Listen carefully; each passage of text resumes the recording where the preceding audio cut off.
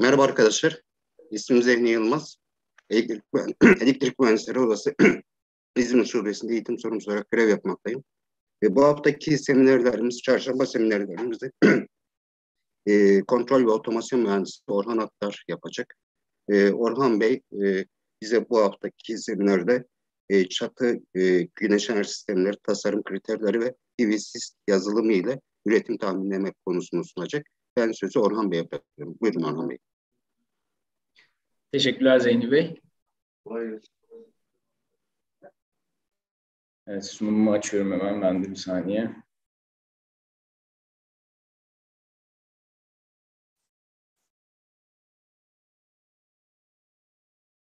Evet, ekranı görünüyor sanırım. Öncelikle herkese merhaba. İsmim Orhan Attar. E, Kontek firmasında e, tasarım tekliflendirme bölümü yöneticiliği görevini üstleniyorum. E, Yıldız Teknik Üniversitesi Kontrol ve Otomasyon Mühendisliği bölümünden mezun oldum. E, direkt e, saha tarafında başladım. Kontek firmasında e, saha e, mühendisi olarak yaklaşık iki e, buçuk, üç sene kadar bir saha tecrübem olduktan sonra tasarım e, departmanına geçiş yaptım. E, dört senedir de e, bu departmanda e, devam etmekteyim. E, bu şekilde. E, şu an e, bugün sizinle yapacağım e, sunum çatı gez tasarım kriterleri ve PVC yazılımı ile üretim tahminlemesi e, konu başlıklı. E, üç ana başlıkta e, topladım sunumumu. İlk, ilk başta çatı tasarım kriterleri e, neler bunlardan bahsedeceğim. E, araya hemen bir çatı uygulama tekniklerini dahil ettim çünkü e, uygulama tarafında e, yapılan e, yöntemler biraz tasarımımızı da bağlıyor. Ondan dolayı uygulama kısmından kısa bir bahsedeceğim. E, sunumun son kısmında ise yani sunum bu ilk iki konu başlığı e, tamamlandıktan sonra e, kapatacağım. E, ve PVSys yazılımını açıp e, canlı olarak e, orada e, PVSys yazılımını e, inceleyeceğiz. E, sunumum bu şekilde. Evet, çatı gez tasarım kriterleri dediğimizde e, birkaç ana başlıkta toparladım. Bunların detaylarına e, giriyor olacağız e, birazdan. İlk etapta benim tasarım yapmam için ne gibi bilgilere ihtiyaç duyuyorum ben? Bunlardan kısaca bahsedeceğim. Daha sonra hangi standartlar, ulusal ve uluslararası hangi standartlara uygun bir şekilde tasarım yapmak gerekiyor? Bunu söyleyeceğim. Ee, doğru ve güvenilir meteorolojik veri kullanımı biz tabii bu e, özellikle PVC tarafında simülasyonlarımızı yaparken e, meteorolojik verilere ihtiyaç duyuyoruz. Bunların neler olduğunu e, anlatacağım.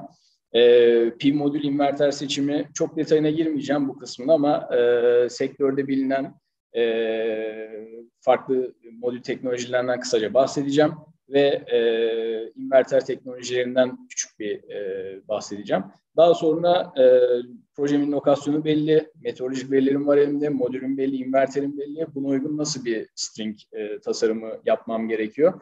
E, bunu e, bunu e, bu string tasarımını yaparken ne gibi kriterlere dikkat etmem gerekiyor kısmını e, anlatacağım. E, daha sonra çatı GES özelinde yaptığımız için e, bu sunumu e, çatıda ne gibi durumlar var? E, bu durumların detaylı değerlendirmelerine bakacağız.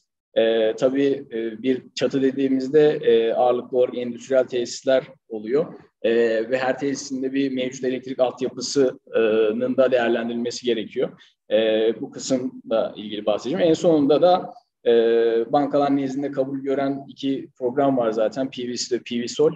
E, biz PVC'si detaylı inceleyeceğiz ama sunumun bu kısmında da kısaca e, bu üretim tarafı yani üretim üretilen enerji ve e, kayıp analizi kısmını biraz detaylı bir şekilde e, inceleyeceğiz.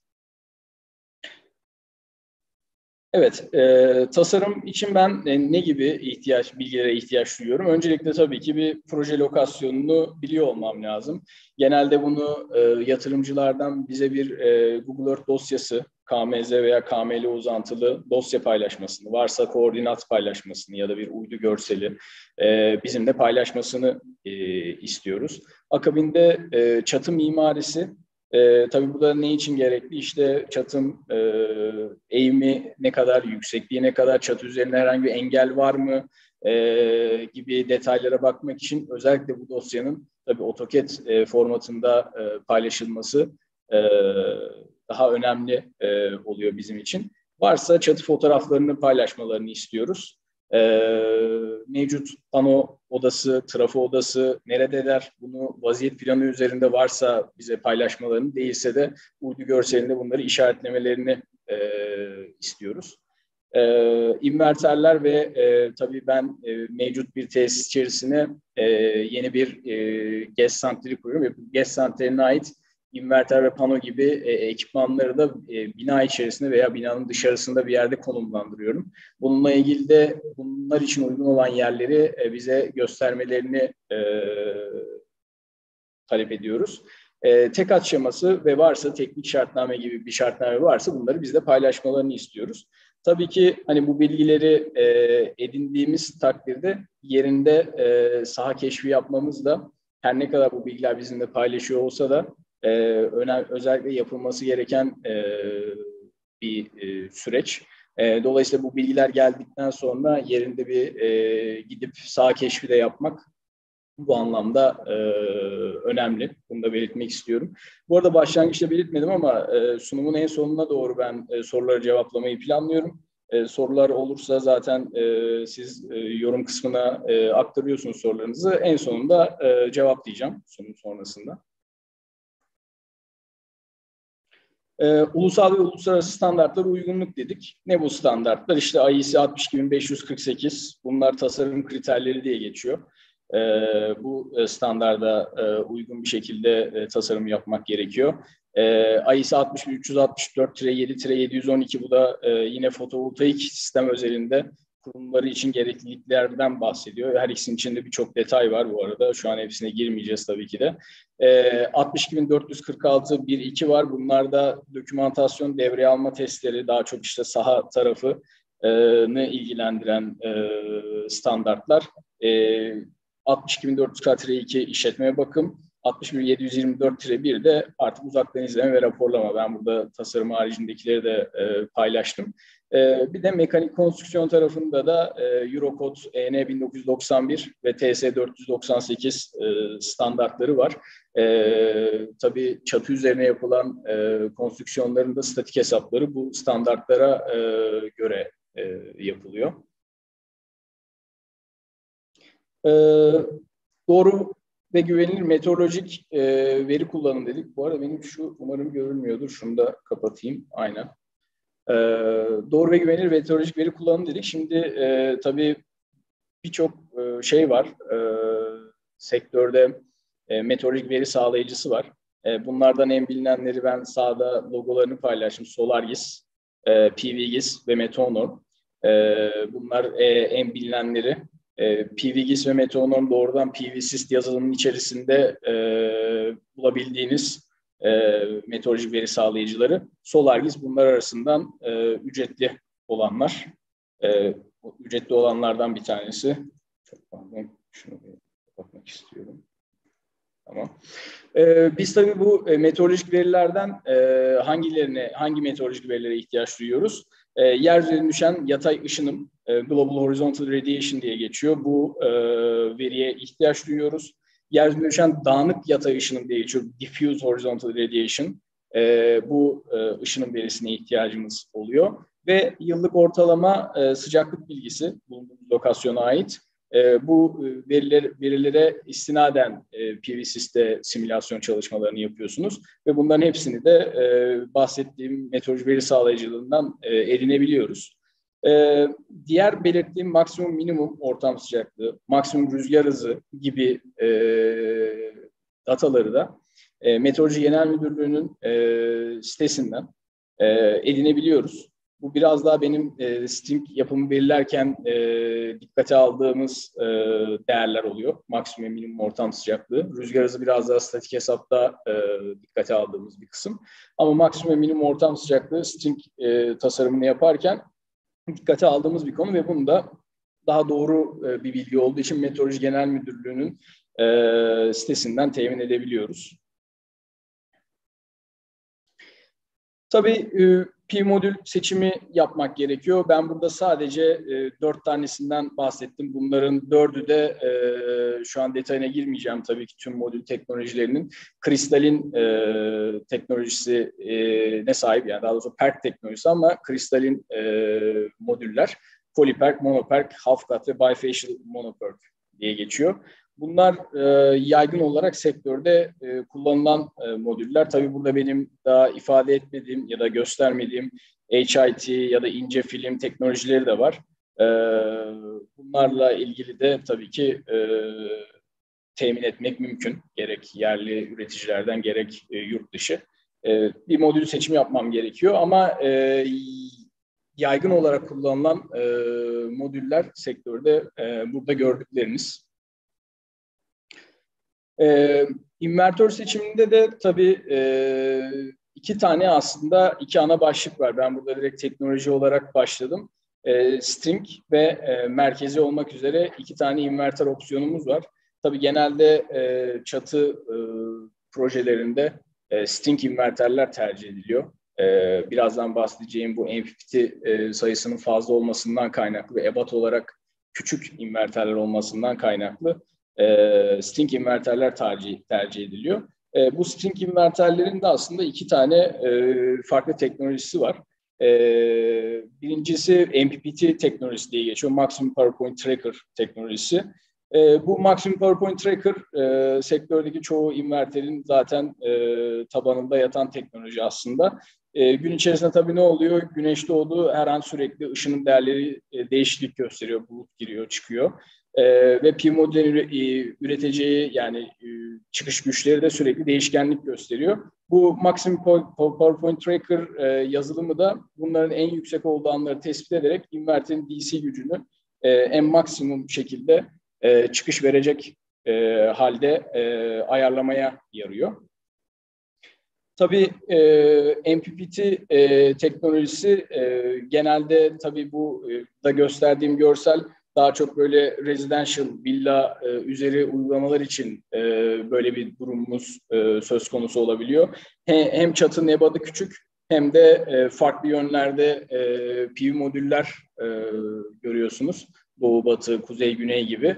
E, tabii benim e, maksimum e, verim almam için e, stringlerimden e, bu farklı yönlere e, bakan e, PV stringlerimi ya, ya da farklı bir PV modül de kullanmış olabilirim tesisinde. Bu farklı tipte olan PV modülleri farklı MPPT'lere bağlamam gerekiyor. Dolayısıyla bu gibi e, küçük projelerde e, ya da endüstriyel e, tesislerde doğu ve batı olmak üzere ya da kuzey güney farklı cepheler oluyor. E, bu e, gibi projelerde birden fazla MPPT içeren inverterlerin kullanılmasını e, tavsiye ediyoruz. E, genelde de zaten şu an e, çoğu firmanın e, 60-100 kW arasındaki e, çıkış gücü veren inverterlerin e, MPPT sayıları da zaten birden fazla.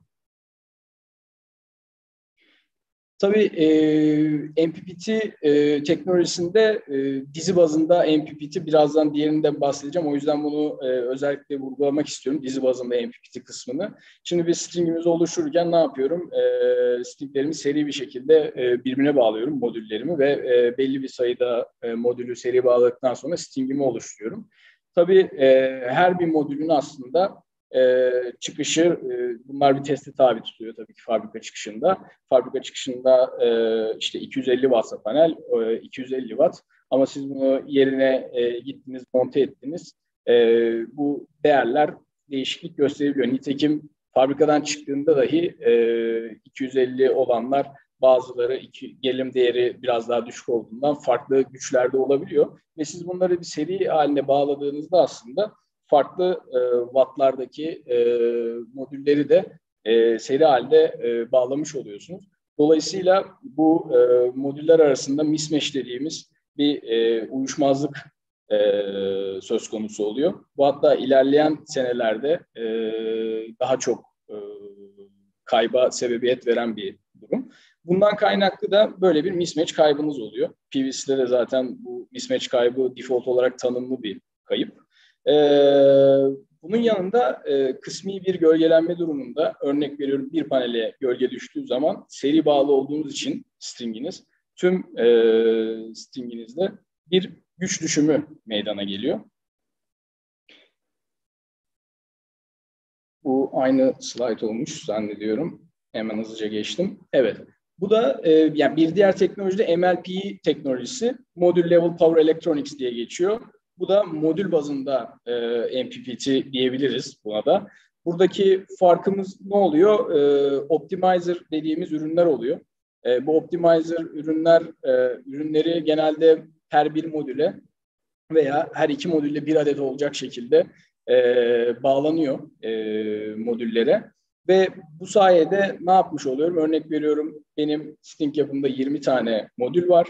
Ancak her iki modülde bir optimizer dediğim cihazdan kullandım. Bundan kaynaklı örnek veriyorum bir modüle e, gölge düştüğü takdirde o modülün bağlı olduğu diğer e, modüle modülün bir tek e, gücünde düşüş oluyor ancak diğer e, Sting'in devamı e, bundan etkilenmemiş oluyor. Böyle bir avantajı var. Dolayısıyla çok e, gölge durumunun fazla olduğu e, çatılarda tercih edilebilen bir e, teknoloji bu. Bir diğeri de tabii e, mismatch tarafında da yani modüller arasındaki uyuşmazlıklardan kaynaklı kayıplar da bu sayede giderilmiş oluyor. Ötekinde e, 20 tane modülü e, seri bağladınız ancak burada iki modüle bunu indirgediniz. Dolayısıyla 20 modüldeki uyuşmazlık kaybı iki modüle iniyor. E, ve genelde bu optimizer'ı da e, seçtiğinizde e, PVSys'te bu mismatch dediğimiz kaybı doğrudan sıfır olarak e, kabul edebiliyorsunuz. Oradan da bir e, ekstra getirisi oluyor. E, bir de bu e, optimizer tabii kullanmanın özellikle gölge e, faktörünün olduğu e, çatılarda yüzde bir ile beş arasında daha fazla e, bir enerji üretimi e, sağladığını söyleyebiliyoruz. Tabii şimdi e, ne yaptım? Proje e, lokasyonum belli. İşte modülümü seçtim, e, inverterimi de tercih ettim. E, buna göre de bir uygun string e, tasarımı yapmam gerekiyor. E, burada e, iki tane e, datasheet e, görseli koydum. Biri modül datasheet'i, öteki de inverter datasheet'i. Oradan alıntılar. Önemli olan kısımları da kırmızı çerçeve içerisine aldım. Buradaki örnekte 400 watt e, PV modül e, kullandım. E, 120 yanlış hatırlamıyorsam 120 kilowatta e, kilowatt e, AC çıkışlı bir e, inverter e, tercih ettim. Buradaki e, önemli olanlar işte e, STC dediğimiz e, değerler oluyor datasheetlerde. E, modüldeki bu STC değerleri işte 1000 watt bölü metrekare ışınım, 25 derece e, modül sıcaklığı ve 1,5 atmosfer basıncında ki değerleri e, 400 wattlık modülün e, akım değeri işte 9.83, gerilim değeri 40.70, e, kısa devre akımı 10.19, açık devre gerilimi 49.21. Alttaki kutucukta da e, kutucukta ise e, sıcaklıkla ilgili e, kayıpları. Modüller, e, modüllerin sıcaklığı yükseldikçe bunlar e, güç tarafında, güç ve voltaj tarafında e, negatif yönde seyrediyor. Dolayısıyla aslında sıcaklığı sevmiyoruz diyebiliriz. E, bu da onların katsayılarını burada ifade ediyor. Alttaki inverter datasheet'inde ise genelde dizaynımı yaparken işte maksimum DC giriş gerilim dediğimiz 1000 volt e, gösterilmiş burada. O 1000 volt değerinin geçilmemesi gerekiyor. E, inverter içinde bulunan ekipmanlara zarar verilmemesi adına. Dolayısıyla önemli e, değerlerden bir tanesi Sting tasarımı yaparken. Bir diğeri nominal e, DC giriş gerilimi, gerilimi olarak belirtilen e, bir diğer adıyla MPPT e, çalışma gerilimi aslında. E, 570 ile 850 e, volt aralığında da e, dizayn e, sıcaklıklarımda bu aralık içerisinde kalmaya çalışıyorum ki inverterim MPPT yapabilsin, inverterimi verimli bir şekilde çalıştırabileyim. E, eğer ben 570 voltun altına veya 850 voltun üzerine çıkarsam inverterimi verimli bir şekilde kullanmamış olurum. E, bunlar için de optimum olarak e, belirttikleri değeri de genelde nominal DC giriş gerilimi olarak belirtiyorlar. O da 720 volt olarak belirtilmiş e, bu e, inverter için. Ben bu değerleri baz alarak proje lokasyonumun da tabii ki işte girdim meteoroloji genel müdürlüğüne minimum ve maksimum ortam sıcaklıklarına baktım. Ne olduğunu oradan modül sıcaklığımın ne olabileceği e, maksimum ne e, olabileceğini e, analiz ettim. Ondan sonra bu kabullerimle birlikte e, string kriterimi belirledim. Stringimin e, kaç adet e, seri e, modülden oluşacağına karar verdim. E, bir de inverterlerin verimlilik eğrisi oluyor. O da zaten az önce belirttiğim MPT aralığına bağlı. Sağ altta görebilirsiniz onu da. 570 ile 800 e, volt DC arasında e, bir eğri. E, bu eğri arasında kalmayı ve olabildiğince de hatta kırmızı çizgi olan 720 ile 800 volt DC arasında e, Sting'imin ağırlıklı olarak o bölgelerde kalmasını e, tercih ediyorum. Tabii bu string yapılandırmasını yaparken aslında PVC yazılımı da bana e, yardımcı oluyor. Orayı PVC tarafını detaylı incelediğimizde de ayrıyetten e, göstereceğim. Böyle bir e, tablomuz var kendi e, işlerimizde kullandığımız. İşte modül verilerini bu siyah kutucuklar içerisine yazıyoruz. İnverter e, verilerini de sağdaki siyah kutucuk içerisine yazıyoruz. Ondan sonra kabul ettiğimiz modül sıcaklığı değerlerine göre örneğin ben meteorolojik veri aldım. Eksi 10 e, oldu. Benim e, ortam sıcaklığı ölçen en düşük. En yüksek sıcaklığı örnek veriyorum 40 derece oldu. Ben bunların üzerine tabii benim e, ortam sıcaklığım atıyorum 40 dereceyken modüllerim bu sıcaklık değerinden daha yüksek bir sıcaklığa sahip oluyor. O yüzden genelde artı 20 artı 25 derece üzerine koyup 60-65 mertebelerinde belirliyoruz e, modül sıcaklığını e, belirlerken. E, en düşük sıcaklık kısmında da işte eksi 10 kısmını da bir miktar artı 5 e, derece koyup eksi 5 e, şeklinde ifade ediyoruz. Buna uygun olarak da işte 18'li mi, 19'lu mu, 20'li mi, 17'li mi, 16'lı mı, kaçlı string yapmam gerektiğini e, az önceki e, belirttiğim inverter ve datasheet, e, inverter ve P modül datasheet verilerini kıyaslayarak e, uygun string gibi oluşturmaya çalışıyorum.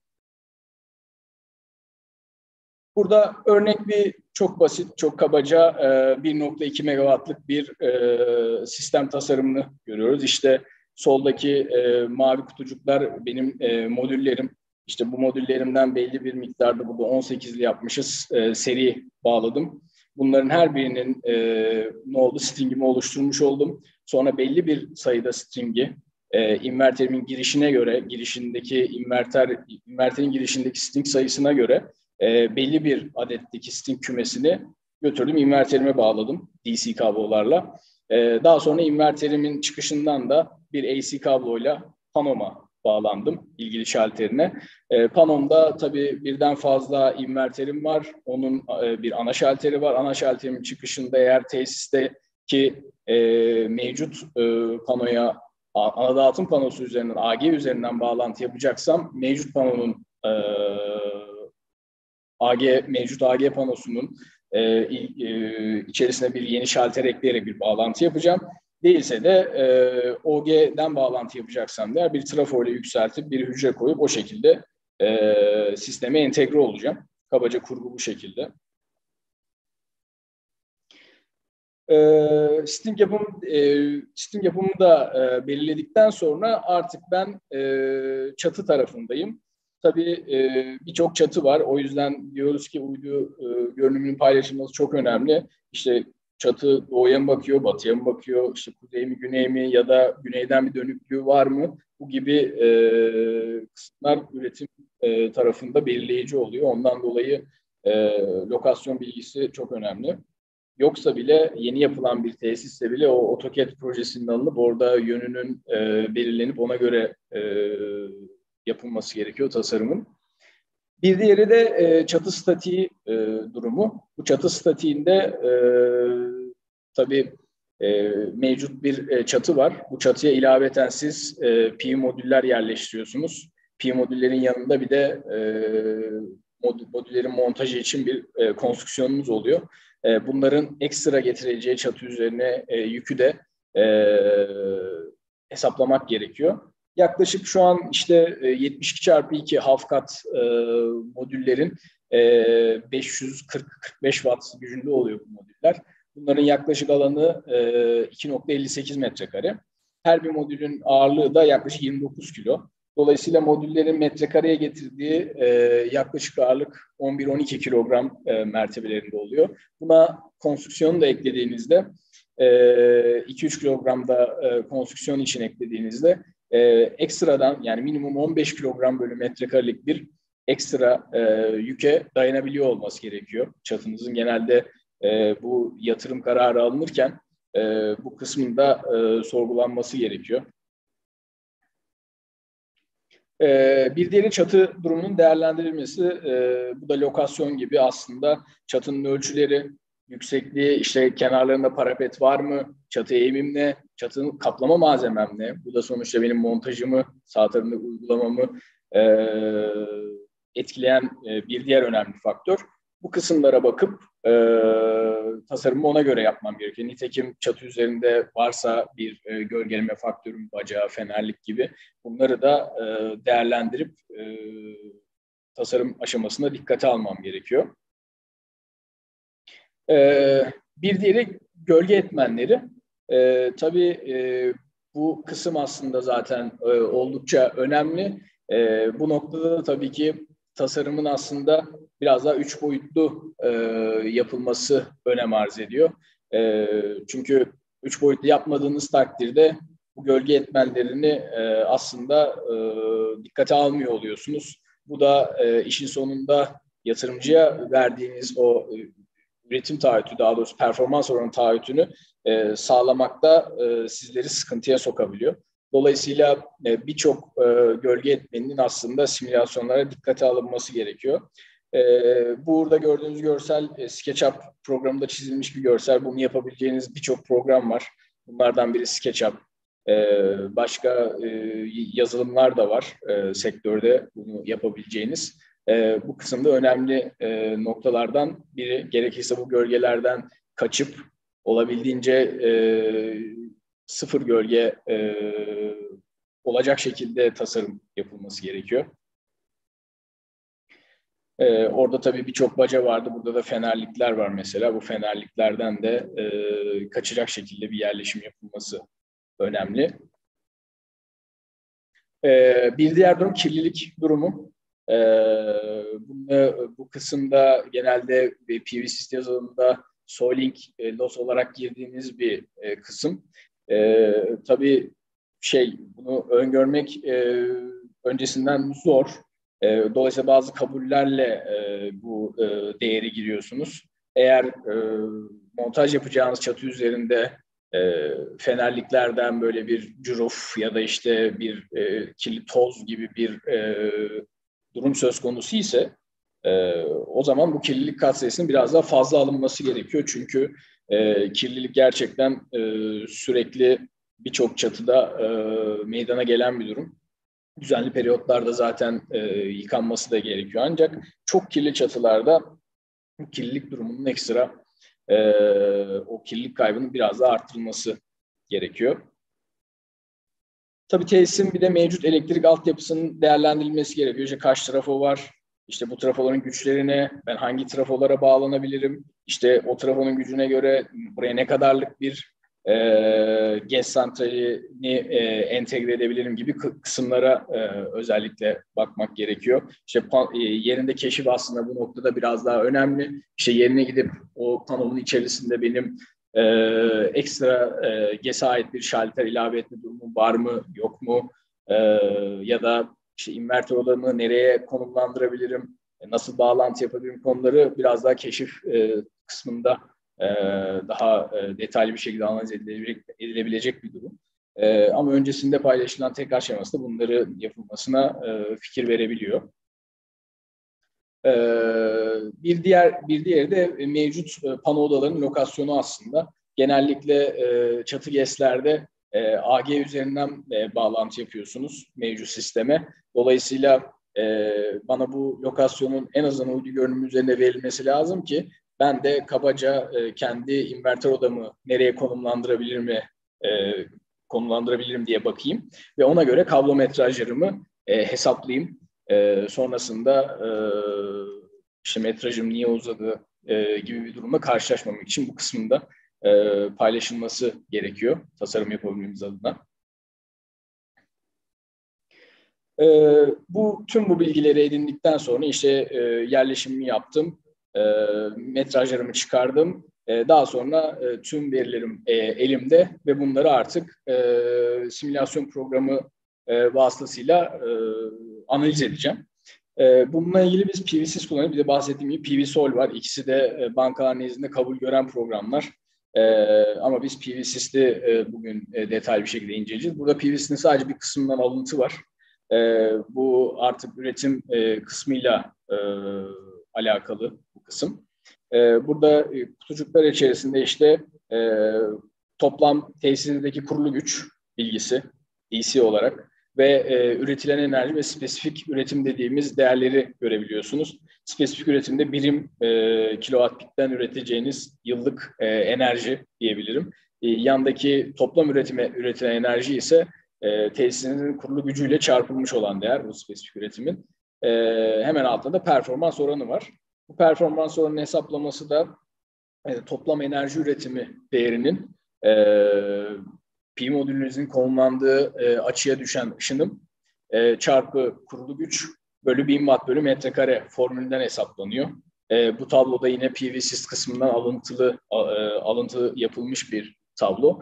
E, burada ay ay e, aylık üretimlerin ne olacağını, e, aylık PR'ların performans oranlarının ne olacağını e, ve ışınım verilerinin ne olduğunu da detaylı bir şekilde e, görebiliyorsunuz. En sonunda da simülasyonun e, sizlerin e, yapmış olduğu tasarımda e, dikkate aldığınız kayıplar e, gösteriliyor. E, bu kayıplardan detaylı bir şekilde inceleyeceğiz. O yüzden çok kısa bahsedeceğim. E, near shading kaybı, gölgelemeden kaynaklı kayıplar. E, soiling loss kaybı, az önce bahsettik kirlilik kaybı. E, PV loss e, due to irradiance level ve temperature e, kayıpları var. Bunlar da e, kullandığınız modülün PAN dosyaları oluyor, PAN uzantılı. O, o dosyalar oradan zaten üretici firmadan e, temin ediyorsunuz. Bazıları hatta PVC'nin kendi içerisinde tanımlı oluyor. E, doğrudan o e, tanımlı PAN dosyasının e, çıkışında e, vermiş olduğu, lokasyona bağlı vermiş olduğu kayıplar. E, shadings, electrical loss according to strings kısmı da e, PV'siz iki e, iki tane gölgeleme e, kaybı e, hesabı yapıyor. Birinci yani yukarıda near shadings olarak bahsettiğimiz sizin tanımladığınız bir e, alan var. İşte 3D e, çiziminizi yaptınız ve gölgeleme etmenlerinden kaynaklı bazı yerlere biraz da daha az ışınım geliyor. E, ve orada da modülünüz varsa bundan kaynaklı bir zaten e, kaybınız oluyor. Bunu near shadings olarak ifade ediyor.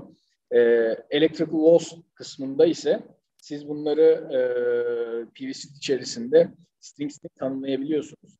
Ve az önce bahsettiğim gibi bir modül üzerine gölge düştüğünde string komple etkilendiği için bunu bir elektriksel kayıp olarak e, tanımlıyor. Ve ayrıyetten size electrical loss olarak ayrı bir e, kayıp e, ortaya çıkarıyor. Ee, bir diğer kay kayıplar kırmızı kutucuk içerisinde al almış oldum. LID kaybı. Ee, modüllerin tüm modüllerin e, data sheet'inde bu e, kısım belirtilmiş. E, bunların bir grafiği vardır.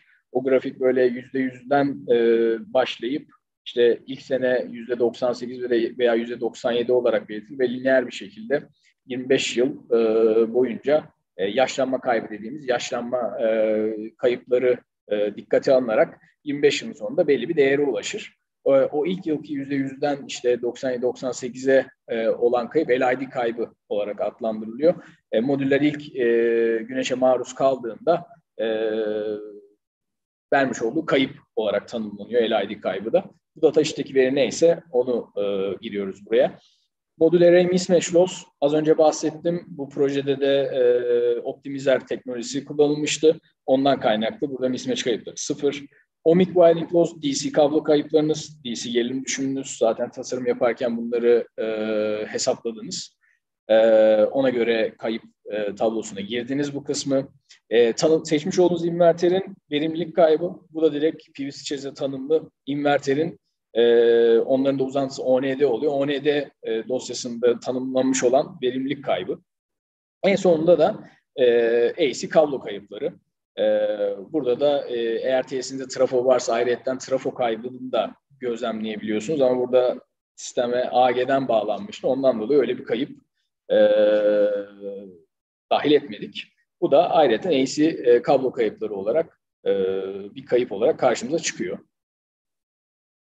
E, ön tasarım kısmında e, yapmış olduğumuz çalışmalar bu. Yani şeyimi yaptım, e, lokasyonuma göre e, verilerimi aldım, meteorolojik verilerimi, e, çatı ile ilgili durumlarımı tespit ettim, modülümü seçtim, inverterimi seçtim, stringimi belirledim, yerleşim planımı oluşturdum, e, kablo kesitlerimi ve gerekli hesaplarımı gerçekleştirdim. Daha sonra tüm bu e, yapmış olduklarımı e, PVSys programında bana ne kadarlık bir e, üretim e, yapacak kısmına baktım ve ön tasarım sürecimi tamamladım. E, uygulama tekniklerinden çok kısa bahsedeceğim demiştim. E, bu kısımda da sizin e, yani çatının tipine göre ve uygulayacağınız yönteme göre aslında tasarımı da biraz ilgilendirdiği için e, bu kısımda kısımdan da biraz bahsedeceğim. Uygulama kriterlerinin neler olduğundan çatı kaplama malzeme birçok farklı çatı var. Beton, sandviç, yani trapez, sac, membran, kenet, kiremit gibi bu e, çatı kaplama malzemelerini e, ve buna uygun olarak ne gibi uygulama malzemeleri var? Buna bakacağız. Çatı tipi düz eğimli çatı olarak iki e, başlıkta inceleyeceğiz. Ve bunun elektriksel montaj uygulama tarafında kablolama, topraklama, biraz buralarda standarda e, alıntıda bulunacağız. Ve e, pano kriterlerine, inverter ve GES pano kriterlerine e, göz atacağız. E, çatı GES uygulama tekniklerinde tabii uygulama kriterlerinde neye bakıyorum? İşte e, çatı yüzeyini bir belirlemem gerekiyor. Yani çatı yapısına göre çünkü benim orada tercih edeceğim montaj yöntemi biraz daha farklılık gösteriyor. E, ve e, çatıda bulunan zayıf bölgeleri de tespit etmem gerekiyor. Özellikle bu e, montaj esnasında e, ya da keşif esnasında daha doğrusu bu bölgeler tespit edilip yatırımcıya bildirilmesi gerekiyor. Özellikle aydınlatma ve havalandırma gibi bölgelerde montaj esnasında buralar riskli bölgeler oluyor genelde. E, oraya e, biri e, adım attığında e, iş güvenliği anlamında bir risk teşkil edeceği için oralara önlemler alınabiliyor öncesinde. E, montaja uygunluğun tabii kontrol edilmesi gerekiyor. İşte e, orada benim e, çatı üzerinde yapmış olduğum keşifte işte e, herhangi bir e, çatıda kritik bir kısım var mı? İşte ben oraya bir montaj yöntemi belirledim. Bu montaja uygun mu aslında benim e, sahadaki çatım? E, bunu e, kontrol etmem gerekiyor ve bu e, çatıda çatıya sonuçta malzemeler çıkarılıyor. Genelde çatı çatıların taşıyıcı açıkları oluyor. O bölgede denk gelecek şekilde onları konumlandırmak gerekiyor. Bu gibi konularda aslında uygulamada dikkat edilen konular. Genelde çok yaygın bir şekilde gördüğümüz iki çatı tipi membran ve sandviç panel veya trapez saç oluyor. E, her biri için de tabii ki farklı e, uygulamalar var. Trapez saç ve e, beton e, çatılar da oluyor. Genelde beton ve membran çatılar düz çatı olarak karşımıza çıkıyor. Diğer çatılar kendiliğinden e, 4 ile 10 derece arasında eğimli çatılar oluyor. E, membran çatıların da aslında bazı örneklerinde az da olsa bir çatı eğimi mevcut oluyor. Çok yaygın olmuyor ama endüstriyel tesislerde özellikle kenet ve e, kiremit çatıda e, diğer çatı e, malzemesi tiplerinden birkaç tanesi. E, burada da uygulama tekniklerine uygulama malzemeleri var. Tabii şimdi e, bu kısım çok çeşitli olmalı ki ben her e, çatı kaplama malzemesine uygun bir e, montaj ekipmanı e, seçebileyim. E, ağırlıklı olarak e, sandviç fan ve trapez saclarda e, çatı braketi dediğimiz parçalar var. Bunlar o e, trapez çatı, e, trapez panellerde, sandviç panellerde e, hadve dediğimiz e, kısımlar oluyor. Bu ha, farklı hadve boylarına ayarlanabilir hem e, x ekseninde hem y ekseninde e, kod ayarı da yapabildiğiniz e, bir ürün. Çatı braketi diye geçiyor. Kiremit çatılarda yine buna benzer bir ürün. E, bu kiremit çatılarda genelde e, endüstriyel uygulamalar değil daha çok residential uygulamalar tercih ediliyor. Kenet çatılar için farklı e, bir e, ürün e, söz konusu. Saplama vidası keza çok pardon. Slide kaydı. Hemen geri geliyorum. E, saplama vidası genelde tabii bu e, trapez e, çatılarda kullandığımız braket dediğimiz yöntem veya kenet çatılarda kullandığımız ürünler çatı kaplama malzemesinin üst, üst kısmına genelde montajlanıyor. E, bunlar tabii ki genelde o detayı da belirteyim. Braketler e, yan tarafında delikler var. E, iki bir yanında, iki bir yanında. Dört adet e, vida ile bunlar sabitleniyor doğrudan. E, trapez veya sandviç panel üzerine. E, bunların üzerine de genelde ağırlık olarak alüminyum profiller geliyor. Sol alt tarafta görebileceğiniz. E, saplama vidasında ise e, genelde çatı kaplama malzemesinin alt kısmında bulunan e, taşıyıcı aşıklarına doğrudan bağlantı yapılıyor bu saplama vidasıyla. Onun üzerine de yine e, sol altta görebileceğiniz alüminyum profiller montajlanıyor. Tüm bu aslında sahipmiş olduğumuz yöntemler statik anlamda e, hepsinin hesabı yapılıp uygulanabilir yöntemler aslında. Dolayısıyla bunlar e, tamamen ilgili çatının e, koşullarına göre karar verilmesi gereken e, farklı mekanik montaj yöntemleri. Membran çatılarda e, sağ üstte görebileceğiniz membran diskler kullanılabiliyor. Yine bu membran disklerin üzerine e, bir e, alüminyum profil e, montajı yapılıyor. Sol altta görebileceğiniz farklı e, kesitlerde alüminyum profiller var. Kimisi kulaklı, kulaklı profiller olunca sol altta e, görebileceğiniz profil doğrudan herhangi bir e, braket e, kullanmadan doğrudan e, hadve üzerine montajlayabildiğiniz bir uygulama. Bir diğeri genelde sektörde Sigma profil olarak görünüyor. Kanallı e, profil. E, montaj vidası görseli, e, braketlerde kullandığımız e, montaj vidası görseli ve e, bunun yanında tabii modüllerimi de e, birbirine tutturmak için e, clamp adını verdiğimiz parçalar kullanılıyor. E, ve bu modüllerin de topraklamasını sağlamak için topraklama diski veya e, doğrudan kendinden clamp üzerinde e, topraklama e, pimleri olan clampler de tercih edilebiliyor. Bunlar genelde e, clamp ve e, clamp ve topraklama diski hatta profil kısmı e, değişiklik göstermeyebiliyor çoğu çatıda ama diğer e, yukarıda e, belirttiğimiz şeyler aslında e, çatı kaplama malzemesine uygun olarak değişiklik gösteren malzemeler. E, çatı tipi düz çatı. Düz çatılar genelde endüstriyel tesislerde aslında çok yaygın değil. Ama genelde bunlar beton veya membran e, yüzeye sahip oluyorlar. E, ve bu çatılara da tabii ki belli bir eğim e, vererek montaj gerçekleştiriliyor. Tabii mümkünse e, güneye baktırmak e, ama değilse de doğu batı tek yönlü veya çift yönlü opsiyonları bulunuyor bu sistemlerin. E, ve bu sistemler de genelde e, çatı üzerine e, tepsileri oluyor e, bu e, sistemlerin. E, ağırlıklarla e, sabitlenebiliyor veya doğrudan montaj opsiyonları da mevcut. İşte membransa çatınız az önce görselini gösteren membran disklerle e, konstrüksiyonu sabitleyebiliyorsunuz veya betonsa bu çatı doğrudan betona işte e, beton kalınlığına tabii ki e, bakmak kaydıyla e, çelik dübel vesaire gibi montaj yöntemleriyle e, doğrudan bir şekilde e, sabitleme opsiyonunuz da bulunuyor. Bir diğer ise eğimli çatı. Tabii eğimli çatılar e, düz çatılara göre çok daha yaygın olan çatılar ve bu çatılarda da genelde mevcut çatı evine uyularak montaj gerçekleştiriliyor. Ee, az önce e, belirttiğim e, kaplama malzeme tipine göre uygun montaj malzemeleri kullanılarak bunun montajı da e, gerçekleştiriliyor. Tasarımı ilgilendiren kısım dediğim aslında bu. Eğer çatım düzse ben oraya bir eğim veriyorum. Ee, ve bu eğimi de mekanik konstrüksiyon üreticilerinin belli açılarda oluyor bu e, üretmiş olduğu mekanik konstrüksiyon tarafı. Bundan kaynaklı çatı tipine göre de aslında uygulayacağım montaj tipine göre de benim e, tasarım tarafında e, yapacağım e, daha doğrusu yapacağım tasarım değişiklik gösteriyor.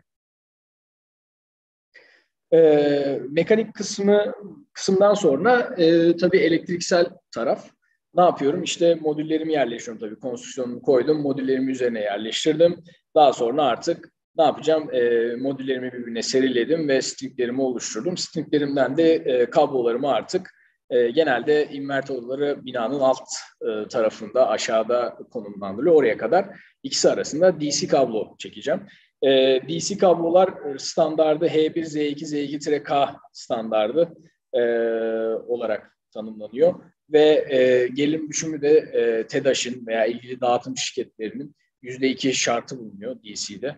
E, her bir e, string kablonun ucuna da genelde inverterlerin girişlerinde e, konnektörler oluyor mevcutta. Siz de e, kabloyu çektikten sonra uygun kesitte konnektörleri stringlerinizin ucuna çak, çaktıktan sonra e, bağlantısını gerçekleştiriyorsunuz invertere. Tabii bu e, DC e, stringlerimi oluşturduktan sonra invertere kadar taşırken dikkat etmem gereken standart e, standarda uygun bir şekilde e, DC kablolama yapmam gerekiyor. E, burada e, şekillerle e, anlatmışlar bu kısmı. Gri olarak gördüğümüz e, e, kutucuklar e, PV modüller. E, küçük e, kareler ise bunların e, üzerinde bulunan junction box'lar. Ee, tabii siz modüllerinizi serilediniz. İşte burada 8 adet panel örnek verebiliriz. Tabii ne yaptınız? Serilemeye başladınız. Artı bir uçta kaldı, eksi bir uçta kaldı. Ee, standart diyor ki işte yıldırım kaynaklı sonuçta siz çatıya montaj yaptınız ve bir elektrik alanı oluşturdunuz orada. Ee, bu yıldırım kaynaklı e, aşırı gerilimlerin büyüklüğünü azaltmak için bu iletkenler arasındaki alanı olabildiğince minimum tutmanız gerekiyor diyor standart. Dolayısıyla sen e, sol alt örnekte görebileceğiniz gibi artıyı yukarıdan eksiği aşağıdan götürmektense eksiği de al artının yanından götür ve olabilecek, oluşabilecek o e, elektrik alanını orada daralt e, bakış açısı var. E, dolayısıyla e, kablo çekimi de aslında sahada e, buna uygun bir şekilde e, yapılmalı. Bu e, IEC 62548 e, 2016 standartında bu şekilde tanımlı. Bu bazı örnek e, görseller genelde çatı üzerinde e, kablo tavaları içerisinden götürülüyor. E, DC kablolar. Bununla ilgili e, birkaç görsel burada göstermek istedim. E, bir diğeri topraklama. Tabii topraklama içinde aslında birçok farklı e, yöntem var. Ya iki modül arasına e, uygun kesitte e, kablo ile bağlantı yapılabilir. E, ya da e, az önce bahsettiğim gibi bu klamplerin altında diskler kullanarak montaj yapılabilir veya klampler üzerinde kendiliğinden topraklama pinleri olan klampler mevcut. Bu klampler kullanılarak da topraklama sağlanabilir. P modüllerin topraklaması. Tabii konstrüksiyonun topraklaması da işte çatıya yerleştik. Konstrüksiyonlarım var. O konstrüksiyonları da topraklamam gerekiyor. Bunların topraklaması için de e, uygun kesitte tabii ki e, alüminyum e, lama veya e, galvaniz şerit e, kullanılabilir veya bakır e, iletken. Burada tabii dikkat edilmesi gereken yine IEC 62548 standartında belirtildiği gibi PV sistemi oluşturan tüm metalik ekipmanlar minimum 6 mm bakır iletken veya eşlerinde iletken kullanılarak topraklanmalıdır şartına uymamız gerekiyor. Bir diğer ise koruma. Ee, yine IEC standartında belirtildiği gibi tüm DC kablolar parafudurlar kullanılarak korunmalıdır yazıyor. Ee, zaten genelde e, tüm inverterlerde hem DC hem AC tarafta e, minimum tip 2 e, parafudur mevcut oluyor. E, bu bu e, yani standartın bu kısmında e, önemli bir kısım. Montaj e, uygulamalarının e, en son kısmında da tabii artık çatımdan da indim. E, inverter odamı oluşturdum. Inverter odamda işte e, uygun e, her bir inverterin bir montaj e, kılavuzu var. O montaj kılavuzuna uygun şekilde inverterlerimi montajladım. E, ve e, uygun iklimlendirmeyi sağlayacak şekilde e, iklimlendirme sistemlerinin montajını yaptım ve e, inverterlerimi montajladım. Geri geldiğinde e, kendi panomuzu da bu inverter odasına koyabiliyoruz. Yeri geldiğinde e, işte her bir inverterden çıkan kabloları veya bus bar sistemi kullandıysak bu bus barlarla e, bağlantı yapacağım GSADP'ye ait olan panoya e, bağlantısını yapıyorum. Bu genelde bir önceki slaytta gösterdiğim genelde bina içinde böyle bir yer varsa bina içindeki alan kullanılıyor. Değilse de binanın dışında böyle bir tel çitle çevrili veya e, işte üstü e, uygun bir kaplama malzeme kapatılmış alanlar yaratılıyor. E, bu kısımlarda da e, inverterlerin ve panoların montajlanabiliyor. E, tabii panolarda da e, iç ortamsa eğer IP55 e, e, koruma sınıfına sahip panolar, işte Form 2 ve Formlu olursa tabii e, her bir bara e, korumalı olacak şekilde, her bir bölüm ayrı olacak şekilde e, bir pano dizaynı yapılabilir ama bu e, tamamen progresif değişiklik gösterebilen bir e, konu. Dış ortamsa e, koruma sınıfı yükseltilebilir gibi. Ee, son olarak da buradan da çok küçük bahsedeceğim. Bu da çünkü biraz tasarımı aslında ilgilendiren bir konu. Ee, çatın çatıların daha doğrusu bir güneş enerji santralinin e, uzaktan izlemesi. E, bu kısım hmm, da e, oldukça önemli bir konu çünkü siz e, bir taahhüt, e, performans taahhütü veriyorsunuz yatırımcıya ve bunun da e, sürekli aslında e, takip edilmesi lazım ki e, o performans oranının sağlanmadığını teyidi için. E, bunu sağlayabilen e, inverterlerin, invertörcünün kendi yazılımları var veya e, sektörde hizmet veren e, farklı firmaların da yazılımları e, oluyor bunu yapan. Bu da oradan bir e, kesit aslında. Tabii bu uzaktan izlemeyi yaparken ben e, montajımı tamamladım e, ve montajımı tamamladıktan sonra da neyle karşılaştıracağım bu performans oranını? Okey uzaktan izliyorum ama bunu karşılaştıracağım şey PVC simülasyonu. Ama doğru bir şekilde kıyas yapmam adına da e, çatım üzerinde e, farklı cephede ise eğer çatılarım ki buradaki örnekte 1, 2, 3, 4, 5 tane farklı e, yöne bakan e, şey var, çatı e, yönelimi var. Bundan kaynaklı da her bir e, cephe sayısı kadar yani her bir yöne modüller ile aynı e, yöne sahip ışınım ve her bir yöne e, modül sıcaklık sensörü yerleştirmem gerekiyor ki ben e, gerçekteki e, üretilen e, enerjiyi ve performans oranımı doğru bir şekilde analiz edebileyim. Bu kısım önemli.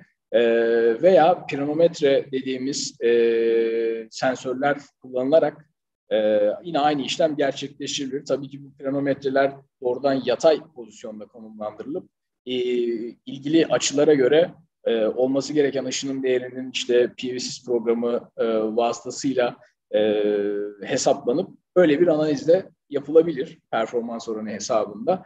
E, her iki yöntemde e, doğru ölçüm yapabil, yap, yapılabilmesi adına uygulanabilir. Evet, teşekkür ediyorum. E, şu an için e, sunum bu kadar tasarım e, kriterleri tarafında. E, şimdi ekranımı e, kapatacağım ve e, yazılımı tarafında inceleme kısmına geçeceğiz. Eğer soru varsa bu kısımda sunumla ilgili alabilirim. Bir hemen durduruyorum paylaşımı. Serkan Bey'in çatı için sıfır faiz kredi veren bankalar var mı? Sıfır faiz kredi veren bankalar o kısımla ilgili hiçbir bilgim yok maalesef. Ee, ama e, yani bankalar nezdinde gerçekten hiçbir bilgim yok. Ama bazı teşvikler var, onu söyleyebilirim e, devlet tarafında. E, ama bankalarla ilgili inanın bilmiyorum. Hibrit inverter proje onayında kabul görülüyor mu? Evet, görülebiliyor hibrit inverterler proje onayında kabul. Onunla ilgili herhangi bir e, sıkıntı söz konusu değil. Evet. Başka soru yok galiba. Ben hemen şeye geçiyorum.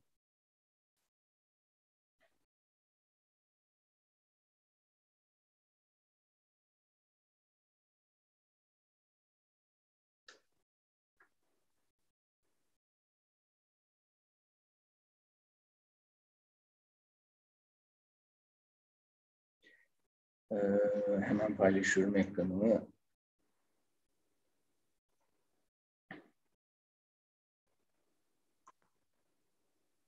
Evet. Şu an ekranım görünüyor zannediyorum. Evet. Ee, Şimdi PVST yazılımı e, bu şekilde. ilk başta PVST açtığınızda bu arada e, 30 günlük demo sürümü var PVST'in. E, akabinde tabii e, belli bir e, ücret karşılığında e, senelik üyelikte e, alınabiliyor. Şu kanı bir şey yapmak istiyorum ama bir saniye.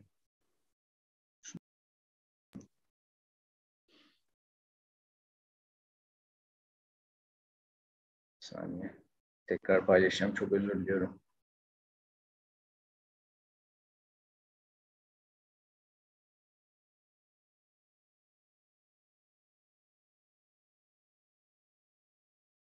Evet. Ee, aynen e, senelik e, üyelik sistemi var dediğim gibi ve e, PVSys'te ilk açtığınızda karşınıza çıkan ekran bu oluyor. E, şu e, yukarı tarafta gördüğümüz bir ana menüsü var. Ve burada da aslında yukarıdaki menünün e, büyük e, kutucuklarla gösterimi var. Burada e, Grid Connected e, seçeneğinde on-grid sistemlerin tasarımını bu sekmeden gerçekleştirebiliyorsunuz standalone dediğimiz off-grid sistemlerin tasarımını buradan gerçekleştiriyorsunuz. Veya bir veya bir pompa e, tarafında uygulama yapılacaksa e, o kısmın e, tasarımını burada yapabiliyorsunuz. Ancak e, ağırlıklı olarak bizlerin de kullandığı sistemler on-grid sistemler olduğu için şu an e, Grid Connected tarafında e, detaylı bir şekilde e, PVSys inceleyeceğiz. Alt kısımda da e, databases kısmı, tools kısmı ve measured data kısmı. Bu kısımlarda e, tools ve measured data'da e, meteorolojik verileri karşılaştırabiliyorsunuz e, veyahut e, sahada ölçmüş olduğunuz değerler varsa PVC'de aktarıp o değerlerle PVC simülasyonu yapabiliyorsunuz. E, burada tabii ilk etapta e, yapacağım lokasyonel meteorolojik verileri e, PVC'de yüklemem gerekiyor. Bu kısmı da aslında burada e, databases kısmından yapıyorum. E, şu sağ taraf komponent e, database'i. Burada modülleri, inverterleri ve e, tanımlı olan bataryaları görebiliyorsunuz. Nitekim birazdan göstereceğim. E, kendi e, PVC tanımlı olmayan e, farklı modülleri veya inverterleri de e, PVC içerisine aktarabiliyorsunuz. E, sol tarafta aslında e, meteorolojik veri tarafı. Burada da e, eğer dışarıdan tedarik ettiğiniz ki örneğini vermiştim sunumda da SolarGis e, veya buna benzer e, farklı bir meteorolojik veriden aldıysanız o, onu bu kısımdan non format kısmına girip burada işte SolarGis işte farklı farklı sağlayıcılar burada görebiliyorsunuz. Bunlardan tanımlı e, almış olduğunuz meteorolojik verinin sağlayıcısı kimse seçip kendi bilgisayarınız içerisinden yükleyebiliyorsunuz. Ama bir diğer yöntem de PVC içerisinde kendiliğinden tanımlı olan bu Geographical Sites kısmı. Burada yeni bir e, sayfa açıp burada bana zaten doğrudan haritayı getiriyor. Merkez Cenevre'de olduğu için orayı seçiyor. Ben hemen şurada mesela İzmir'den bir lokasyon seçiyorum. Geldim. Bu kısmı al diyorum. İşte burada bana e, enlem boylam bilgisini veriyor. Okey dedim, seçtim. Hemen bir e, isim veriyorum. Ülkemi seçtim, bulunduğum kıtayı seçtim, bilgilerim geldi. Sağ tarafta da artık benim hangi meteoroloji veri sağlayıcısından bu değerleri alabilirim kısmını seçebiliyorum. Burada kendiliğinden tanımlı Meteonorm, NASA, PVIST, Solcast gibi e, meteorolojik veri sağlayıcıları var genelde sektörde e, tercih edilen, kullanılan, bilinen diyeyim PVGIS e, ile yapılabilir. E, biz kendi simülasyonumuzu yaparken SolarGIS verilerini kullanıyoruz ama PVGIS de e, tercih edilebilir. Veya daha detaylı bir e, çalışma yapayım deniyorsa her bir meteoroloji veri sağlayıcısından e, değerler alınıp bunların ortalaması alınabilir. E, ya da yerinde ölçüm yapılıp o ölçüm e, datasına göre hangisinin doğru sonuç verdiği e, analiz edilip bundan sonraki simülasyonlar onunla yapılabilir.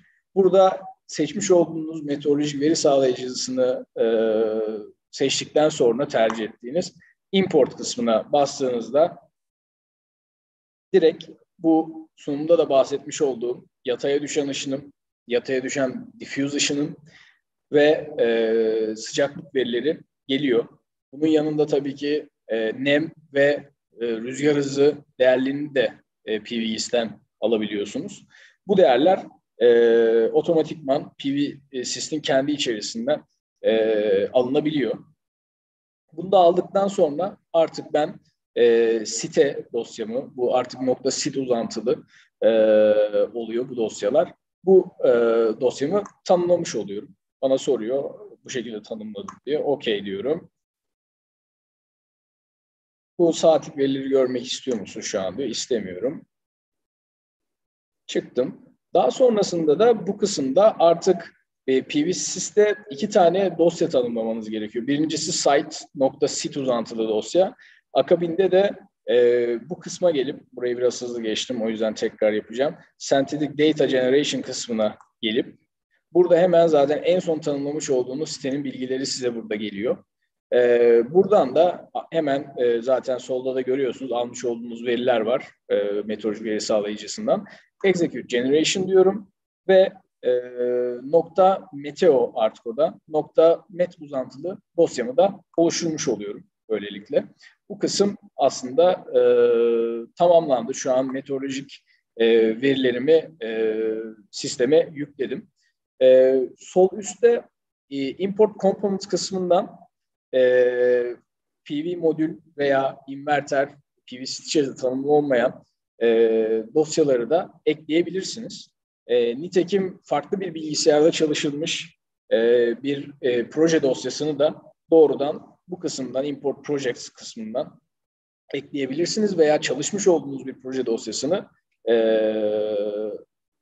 alabilirsiniz export project kısmından.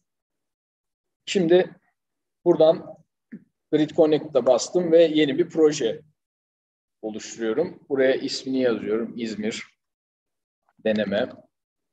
Hemen şurada site file. Şuradaki kutucuğa tıkladığımda zaten koyu renkte benim en son e, seçmiş olduğum e, kısmı kısma ait meteorolojik verileri yükleyebiliyorum. Bundan sonra bana diyor ki okey projeni kaydet diyor. Daha sonrasında da evet artık diyor ki e, benim bu kısım varyant olarak tanımlanıyor. Yani burada farklı farklı varyantlar çalışabilirsiniz. Örneğin bir proje çalışıyorsunuz. E, farklı kombinasyonlar denemek istiyorsunuz. İlkini tanımladığınızda kaydedip farklı varyantlar e, kaydedebilirsiniz. E, şu sol yukarı kısımda Project Settings kısmı var. Bu kısımda e, aslında default olarak tanımlı bu değerler. Genelde çok e, değiştirilen e, değerler değil bu e, kısım. E, burada albedo e, kısmı var. E, bu albedo e, efekti daha çok bifacial e, modül e, seçilen e, uygulamalar olduğunda aslında biraz daha önem kazanıyor. Default olarak 0.2 olarak tanımlı. Bu albedo katsayısı da şurada bazı tanımlamalar var işte. E, beyaz yüzey ise e, oranın yansıma katsayısı daha yüksek olduğu için o katsayılar biraz daha büyüyebiliyor, e, artabiliyor. Ondan e, burada da onun tanımlaması mevcut. E, sizin design e, tarafındaki aslında e, parametreleriniz burada da e, minimum sıcaklık, maksimum sıcaklık değerlerini buraya girebiliyorsunuz. E, ama default olarak bunlar eksi 10 ve 60 derece olarak tanımlı. Bir değer limitleme ve diğer özellikler de mevcut burada. Dilerseniz buradaki Project Settings kısmına girip bu kısımları da değiştirebilirsiniz. Örneğin çok sıcak bir yerde e, yerleşim yapıyorsunuzdur, tasarım çalışması. Bu değeri sıfır alıp, e, eksi 10 hiçbir zaman olmayacak sonuçta, sıfır alıp ona göre e, string tasarımı yapabilirsiniz. E, burada orientation kısmına girdiğimizde birçok seçenek var. Bunlar field type olarak burada tanımlanmış şekilde. E, fixed tilted plane bu eğer tek bir yönelim varsa ve e, arka arkaya herhangi bir e, yani bir saha projesi değil değil ise doğrudan bu e, fixed tilted plane opsiyonu seçilebilir. Burada panelin açısı girilebilir. Burada zaten sizi yönlendiriyor da şu e, tilt kısmındaki gösterim. Eğer herhangi bir azimutu varsa da burada bu azimut değerini girip şuradaki yönelimine bakabilirsiniz. Mesela bu şu an biraz daha güneybatıya bakıyor 50 derece azimutlu. Şurada da modülün yönünün nereye baktığını kırmızı nokta tepe noktası, siyah nokta e, dip noktası.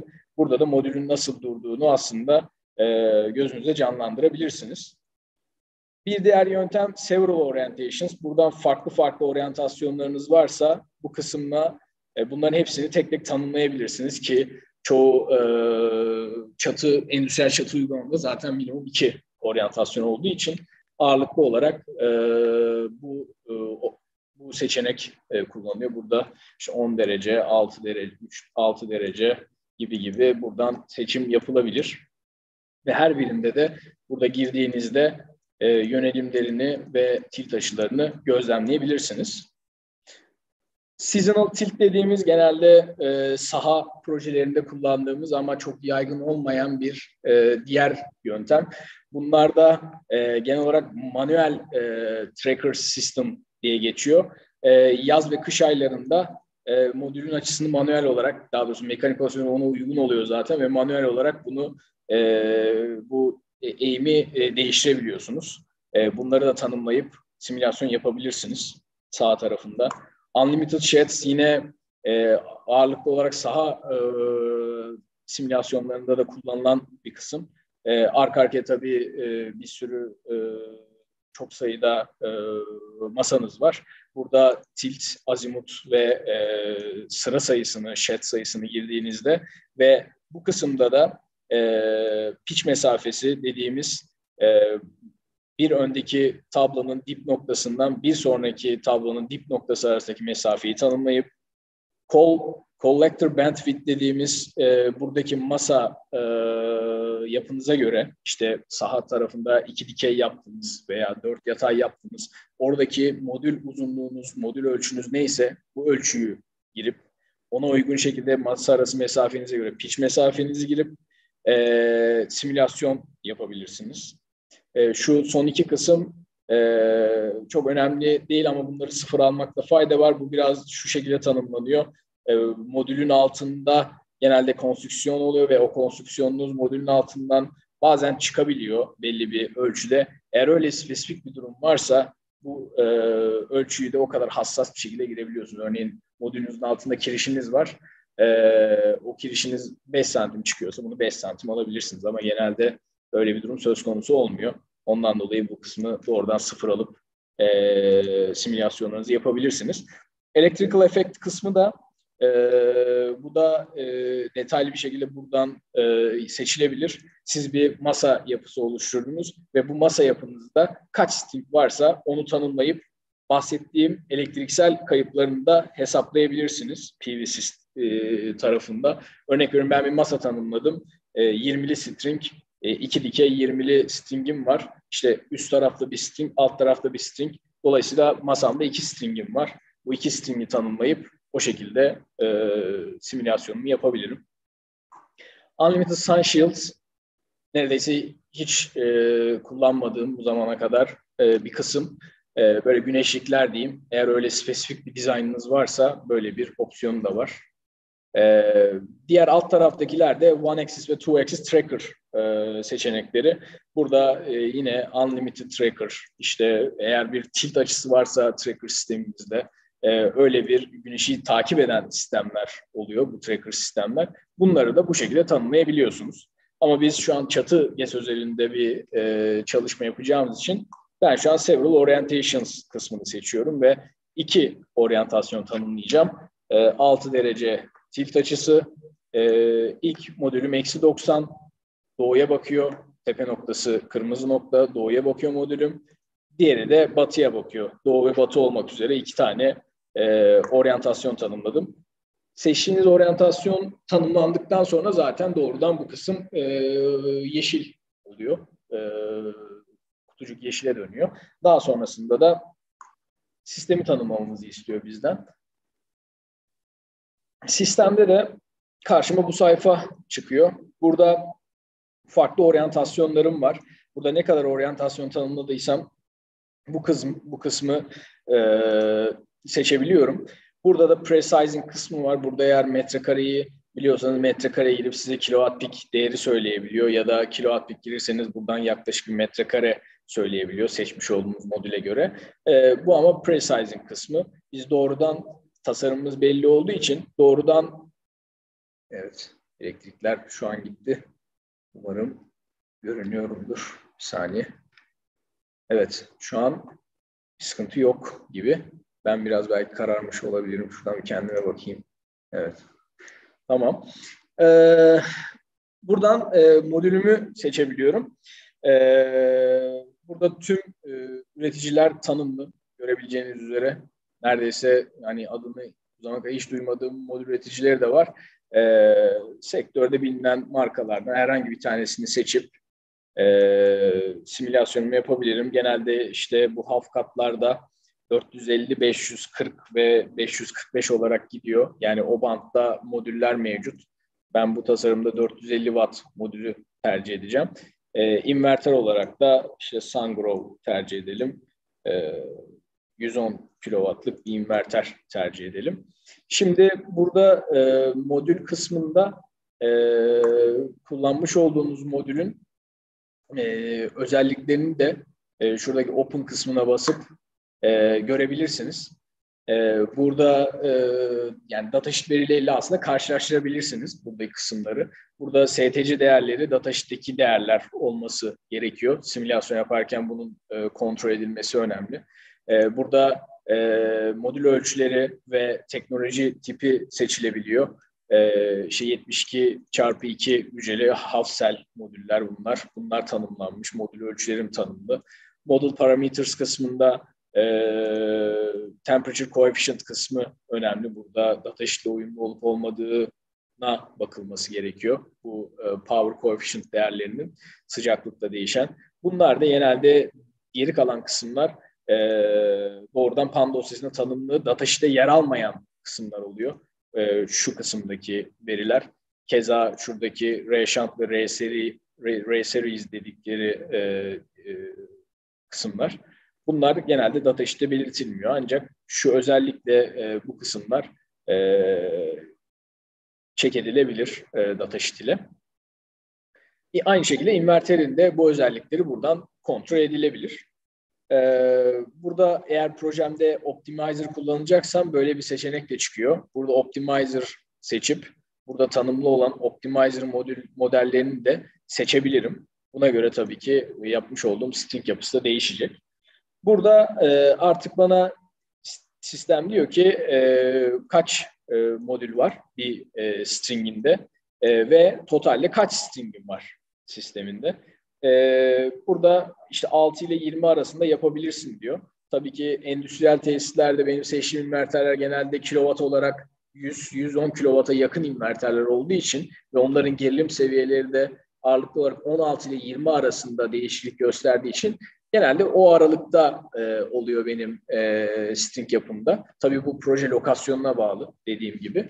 Burada e, işte 18, 19 ve 20 olarak seçtiğinizde şuradaki operating conditions değerlerinde de aslında e, string tasarımı yaparken bir e, tablo göstermiştim oradaki e, gerilim değerlerini hesaplamıştık modül data işine göre. E, bu değerlerin de aslında Burada PVC sizin için otomatik hesaplıyor. Yani eksi 10 derecede bunun ulaşmış olduğu voltaj değeri, 60 derecede 18 stringde e, bir stringin çıkışının vereceği e, gerilim değerini burada gözlemleyebiliyorsunuz. Bunlar işte 18, 19 ve 20 yaptığınızda sürekli değişiklik gösteriyor. Ee, şu an ben 18'li örnekten gideceğim. Bu da e, şu an tamamen e, kendi kafamdan uyduracağım bir rakam. E, 20 stringli veya ne yapalım işte 15 stringli olsun. Ee, ne oldu? Şurada da benim toplam şeyimi görüyorsunuz. Ee, toplam kurulu gücümü benim nominal olarak bağladığım, daha doğrusu maksim nominal olarak bağladığım e, modül gücüm 122. İşte 18'i serim var. E, totalde 15 tane stringim var. Bunu, bunların hepsini e, 18 çarpı 15 çarpı 450 dediğinde ulaştığım güç 122 kilo pik. E, ne yaptım? Bir adet inverter seçtim. Burada kullanmış olduğumuz inverter e, çok e, MPPT'li bir inverter olduğu için simülasyonlarınızı use multi MPPT feature kısmıyla da yapabilirsiniz. Örneğin bu inverterde 9 adet MPPT varmış. Gelip burada 9 yazdığınızda 9 MPPT bir invertere tekabül edeceği için böyle bir simülasyon da tercih edebilirsiniz. Ya da doğrudan inverter sayınızı girip e, inverter sayısına göre de bir e, simülasyon yapabilirsiniz. E, burada DC böyle AC oranında e, burada gösteriliyor, gösteriliyor. Şurada dilerseniz şunda e, çift sayı yapalım. Şunu da 2 inverter yapalım. Şunu da 32 yapalım. Yani şöyle bir tasarımımız olsun. Doğu cepheye bakan e, 16 stringim, Batı cepheye bakan da 16 stringim olsun. İki tane de 110 kW inverter Böyle bir dizaynımız olsun. Ee, burada e, sistem tarafında da bu tanımlamaları yaptıktan sonra okey deyip bu kısımdan da çıkabiliyorum. Ama tabii ki çok güzel beni uyardı şu an. Dedi ki işte ikinci oryantasyonu tanımlamadın. Çok doğru. O yüzden tanımlamak istemiyorum. Hemen şuradan e, ikinci bir oryantasyon seçiyorum. İlk oryantasyonum neydi? 6 derece tilt ve eksi 90 azimuta e, sahip yönelimime aitti. İkinci e, şeyimde de e, Sabere'imde de diğer oryantasyonu seçmem gerekiyor. Çünkü iki oryantasyon tanımladım ve dolayısıyla burada da 16 ve 16 olarak bu kısmı tanımlayabilirim.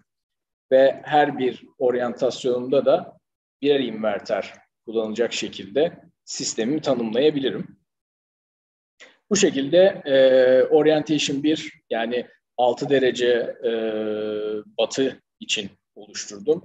6 derece doğu için oluşturdum ve e, sistemimi tanımladım. Bu kutucuğum da yeşile döndü. Akabinde de e, detail losses kısmı var. Burada e, sistemdeki kayıpları girebiliyorum. Öngördüğüm kayıplar. PVSys bunu üç farklı e, lokasyonda üç farklı opsiyon tanımlamış bunun için. İlki Free Mounted Modules with Air Circulation. Bu kısım daha çok e, arazi projelerinde, saha projelerinde e, seçtiğimiz bir kısım. Buna tıkladığınızda şuradaki thermal loss faktör değeri, şu değerin değiştiğini göreceksiniz. Tıkladığınızda 29 olarak bir katsayı belirlenir. Bu tamamen saha koşulları ile ilgili. Yani saha projesinde sizin e, modüllerinizin dört bir tarafı da açık oluyor genelde ve bundan kaynaklı e, bu thermal loss faktör katsayısı biraz daha yüksek e, kabul ediliyor. Bir diğeri semi-integrated with air duct behind. Bu kısımda aslında çatı projeleri için kullanılıyor diyebilirim. Bu da e, modülleriniz ile e, PV modül, e, modülleriniz ile çatı yüzeyi arasında e, bir miktar mesafe varsa diyelim işte konstrüksiyonunuzda yükselttiniz ve modülün e, camı ile e, şey arasında e, çatı yüzeyi arasında belli bir mesafe oldu. Ondan kaynaklı da bu opsiyonu kullanarak simülasyonlarınızı gerçekleştirebilirsiniz. Diğer opsiyon ise integration with fully insulated back. Bu da e, yani çok e, yaygın kullanılmıyor ya da bazen doğrudan modüller çok e, küçük e, yüksekliğe sahip bir e, alüminyum profille yapıldıysa veya doğrudan modüller e, çatı yüzeyine e, montajlandıysa bazı membran e, modüller de oluyor çok yaygın kullanılmayan. Bu gibi modüller eğer kullanılıyorsa yani hiçbir hava e, alma opsiyonu yok ise e, modüllerin bu opsiyonu seçip simülasyon yapabilirsiniz. E, tabii bu aşağıya doğru yani bu değer düştükçe sizin o anlamda sıcaklık kayıplarınız e, biraz daha yüksek çıkacaktır e, bu değer düştükçe. Biz şu an ortadaki opsiyonla devam ediyoruz. Bu kısım e, DC, AC kayıplarını e, tanımladığımız bir e, kısım. Tabii ben tasarımımı oluştururken işte e, kablo kesitlerimi vesaire de inverter odamın lokasyonuna göre belirledim ve bir e, gerilim düşümü e, hesabı yaptım. Ona göre benim işte gerilim düşümüm neyse bu değeri yazabiliyorum. Buradaki kısmı. Bunu şu an yüzde bir olarak alalım. Burada da e, AC kısım artık inverterlerimden kaynaklı benim e, AC kablolarım ben inverterle e, GSADP arası ve GSADP mevcut ADP arasında e, AC kablolar kullanıyorum. Bunu her bir inverter için veya tüm sistem için e, tanımlayabiliyorsunuz. Kullandığınız iletken e, kesitine göre bakır veya alüminyum olarak seçebiliyorsunuz buradan. Burada da e, eğer gerilim düşümünüz kaç ise bunu burada yazabiliyorsunuz. Bu kısımda yani şu şurada yapılan e, hesap aslında sizin seçmiş olduğunuz kablo kesitine göre e, gelen gerilim düşümünün çok yakın değerler çıkması gerekiyor. Ama burada dikkat etmeniz gereken şu kesidi belirlemektense sizlerin kendi hesaplamış olduğu gerilim düşümü neyse buraya yüzdesel olarak onu yazıyor olmanız. Ee, tabii bunların hepsini yaparken şu an e, tanımlamış olduğunuz sabereyler özelinde bunu yapıyorsunuz.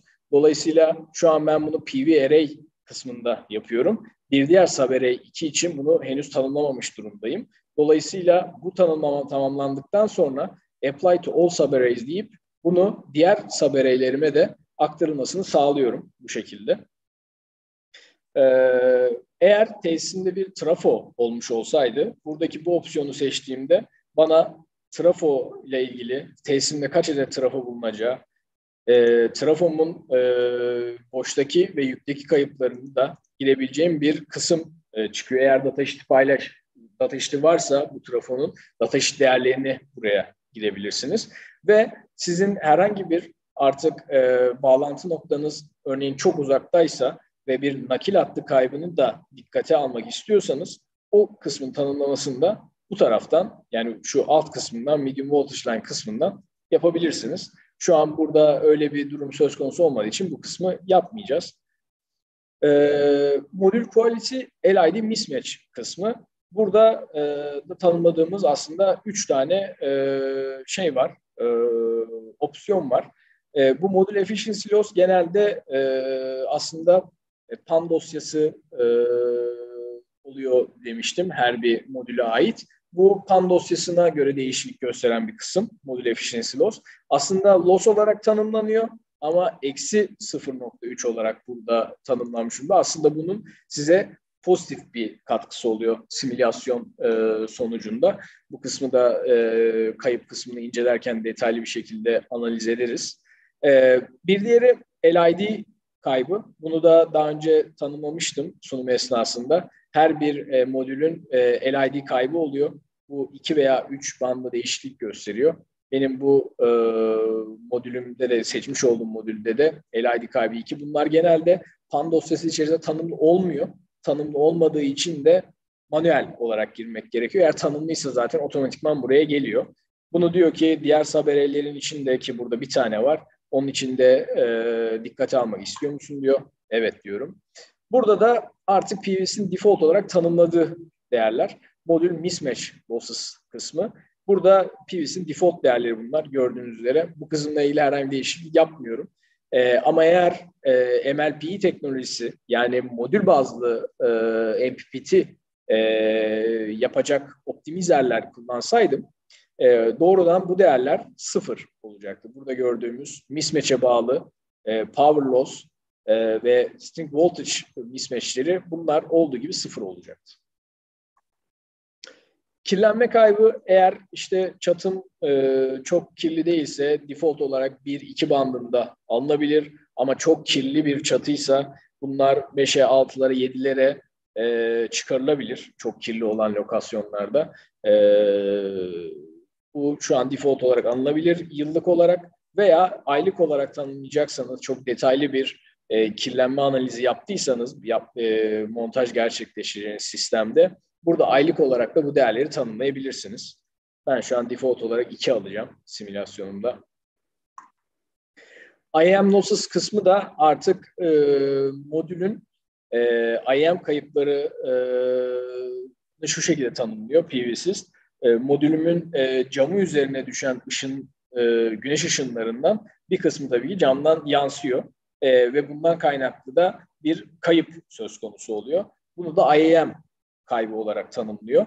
Burada genelde seçmiş olduğunuz modül içerisinde eğer bu IAM e, profili tanımlıysa doğrudan şu kutucuk işaretli bir şekilde geliyor ve burada e, IAM tanımlanmış oluyor o modüle ait. Ama eğer bu tanımlı değilse siz buradan kendiniz e, PVC'nin tanımlamış olduğu farklı modelleri seçerek e, simüle edebiliyorsunuz. Genelde Esri model veya Fresnel modeller tercih ediliyor. Fresnel modelin iki tane opsiyonu var.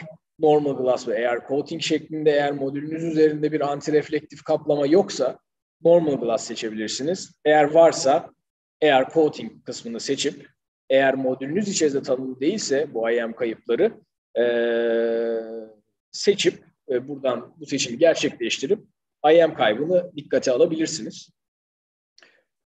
Bunda tabii herhangi değişiklik yapmadığım için şuradan şunu seçip apply to all surveys deyip devam ediyorum. Burada e, auxiliaries artık böyle sizlerin e, tesisinizde bildiğiniz e, genelde bu saha projelerinde e, tanımlanabiliyor. Çatılarda çok e, tanımlanan bir e, parametre değil. E, örnek veriyorum bir e, büyük bir inverter kullandınız e, ve bu e, merkezi inverter. Merkezi inverterlerin kendi iş tüketimleri oluyor. Sting inverter bu sıfıra çok yakın bir değer. Ondan dolayı e, dikkate alınmıyor. Ama merkezi inverter kullandıysanız buradaki e, o e, iş tüketim e, değerlerini girebilirsiniz. Veya saha projelerinde e, aydınlatma sistemleri oluyor, kamera sistemleri. Onların e, değerlerini biliyorsanız bu kısımları da burada tanımlayabilirsiniz. Ama şu an böyle bir e, şey tanımlamayacağız. Bu da e, aging kısmı. E, tabii PVSys'te ilk yapmış olduğunuz simülasyon yani bu aging kısmını tamamen tanımlamazsanız ilk yılki size üretim değerlerini gösteriyor. Ama siz eğer merak ediyorsanız benim tesisim 5. senede, 10. senede, 20. senede hatta modüler üretimi 25. senede 25 yıl oluyor e, santral ömrü. 25. yılda benim üretimim ne olacak derseniz buradaki Uses in Simulation kısmını işaretleyip buradaki e, yıl seçeneğini işaretleyip burada 10. yılda benim tesisimin ne üreteceği bilgisine e, ulaşabilirsiniz.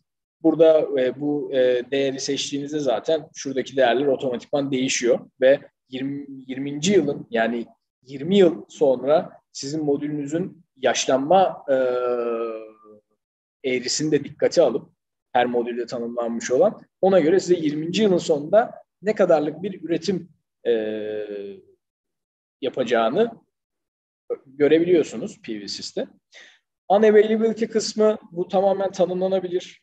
Eğer belli başlı e, bakım periyotları e, veya e, bilinen kesintiler vesaire varsa bunların periyodunu veya gün yıl, içerisinde kaç gün böyle bir e, durumun söz konusu olacağını da tanımlayabiliyorsunuz bu kısımdan. E, ama genelde dediğim gibi e, çok kullandığımız bir e, kısım değil. Spectral correction bu kısım e, daha çok nem e, tarafıyla yani nem kısmı tanımlıysa e, şeyde e, meteorolojik verilerinizde bu kısmı da e, kullanabilirsiniz. Ama dediğim gibi e, bu kısmı da çok kullandığımız e, bir kısım değil. Sistemde e, kayıplarını da tamamladıktan sonra bu kısım zaten e, yeşile dönüyor. Sonra alt kısımda artık self conservation ve storage kısmı bu, bu kısım PVS'te en son eklenen kısımlardan. Öncesinden beri vardı ama daha çok eklenen güncellemeler bu kısma geldi.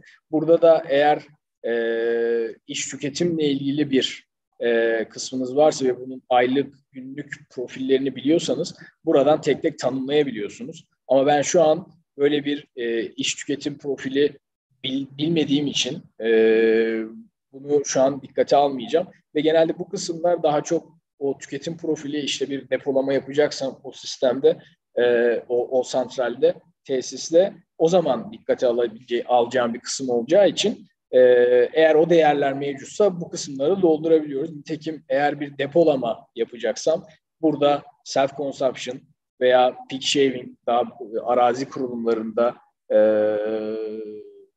yapılan e, yapılabilir bir e, yöntem. Burada da e, bu kısımların tanımlaması, analizi yapılabilir. E, burada da optional kısmı aslında burada main parameters kısmını tanımladıktan sonra bu kısımlar artık opsiyonel.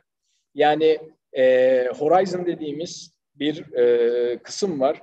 Bu e, PVSys kayıplarında, simülasyon kayıplarında işte near shadings görmüştük, yakın gölgelemeler çatı üzerindeki. Far shadings ise uzak gölgelemeler adı üstünde. E, eğer benim e, montajını gerçekleştireceğim lokasyonda e, böyle bir dağ, tepe gibi bir e, yapı varsa e, lokasyonuma belli bir mesafe uzaklıkta ondan kaynaklı kayıpları da alabiliyorsunuz. Bu Horizon verisi e, doğrudan sizlerin meteoroloji veri aldığı e, veri sağlayıcılarından edinilebiliyor ve PVSys'te import edilebiliyor. Şurada sol altta read import kısmı var. Burada e, doğrudan PVGIS'in sitesine girip oradan bu lokasyonla ilgili e, Horizon verisini alabilirsiniz. Bunlar nokta hor uzantılı oluyor. E, doğrudan onu alabilirsiniz. Veya e, PVSys içerisinde yani örnek veriyorum başka bir veri sağlayıcısından aldınız. Örneğin SolarGIS'ten aldınız. SolarGIS'ten aldığınız o hor datasını e, PVSys'in e, içerisine aktarıp doğrudan PVC içerisinden de e, hor dosyasını alabilirsiniz. Burada şunu seçtiğimde bakalım olacak mı deneyelim. Okey. Aldı mesela şu an PVGIS'ten bu lokasyona ait e, Horizon'ı aldı. Böyle garip bir Horizon e, çıktı. Burada e, muhtemelen seçmiş olduğumuz lokasyonda e, böyle bir dağlık, engebeli bir yapı mevcut. Ondan dolayı böyle bir harita gelmiş oldu bize. Bu kısımda Near Shadings eğer ben 3D çalıştıysam, örneğin farklı bir yazılım programında işte SketchUp olur, Helios olur, e, Archelios olur, birçok var dediğim gibi. E, bunlarda çalışmış olduğum e, 3D tasarımları doğrudan import edebiliyorum. Ya da PVSys'in kendi içerisinde bu 3D e, tasarımları da yapabilmek mümkün. Biraz yavaş kılıyor sizin aslında yapmanızı ama kullanılabilir e, bu da. E, şurada create kısmından elementary shadings object kısmından birçok e, yapı oluşturabiliyorsunuz aslında. İşte paralel kenar, piramit, işte hexagonal, böyle egzantrik e, yapılar da var. E, ya da işte kendiniz çatı da oluşturabiliyorsunuz. Örneğin bir e, iki cepheli bir e, çatı e, seçip işte burada e, kısa kenarını örnek veriyorum 14 yapıp işte ne yapalım 80 yapalım. İşte açımda 6 derece olsun işte oryantasyonunu tanımladığım gibi bir yapı oluşturmaya çalışayım.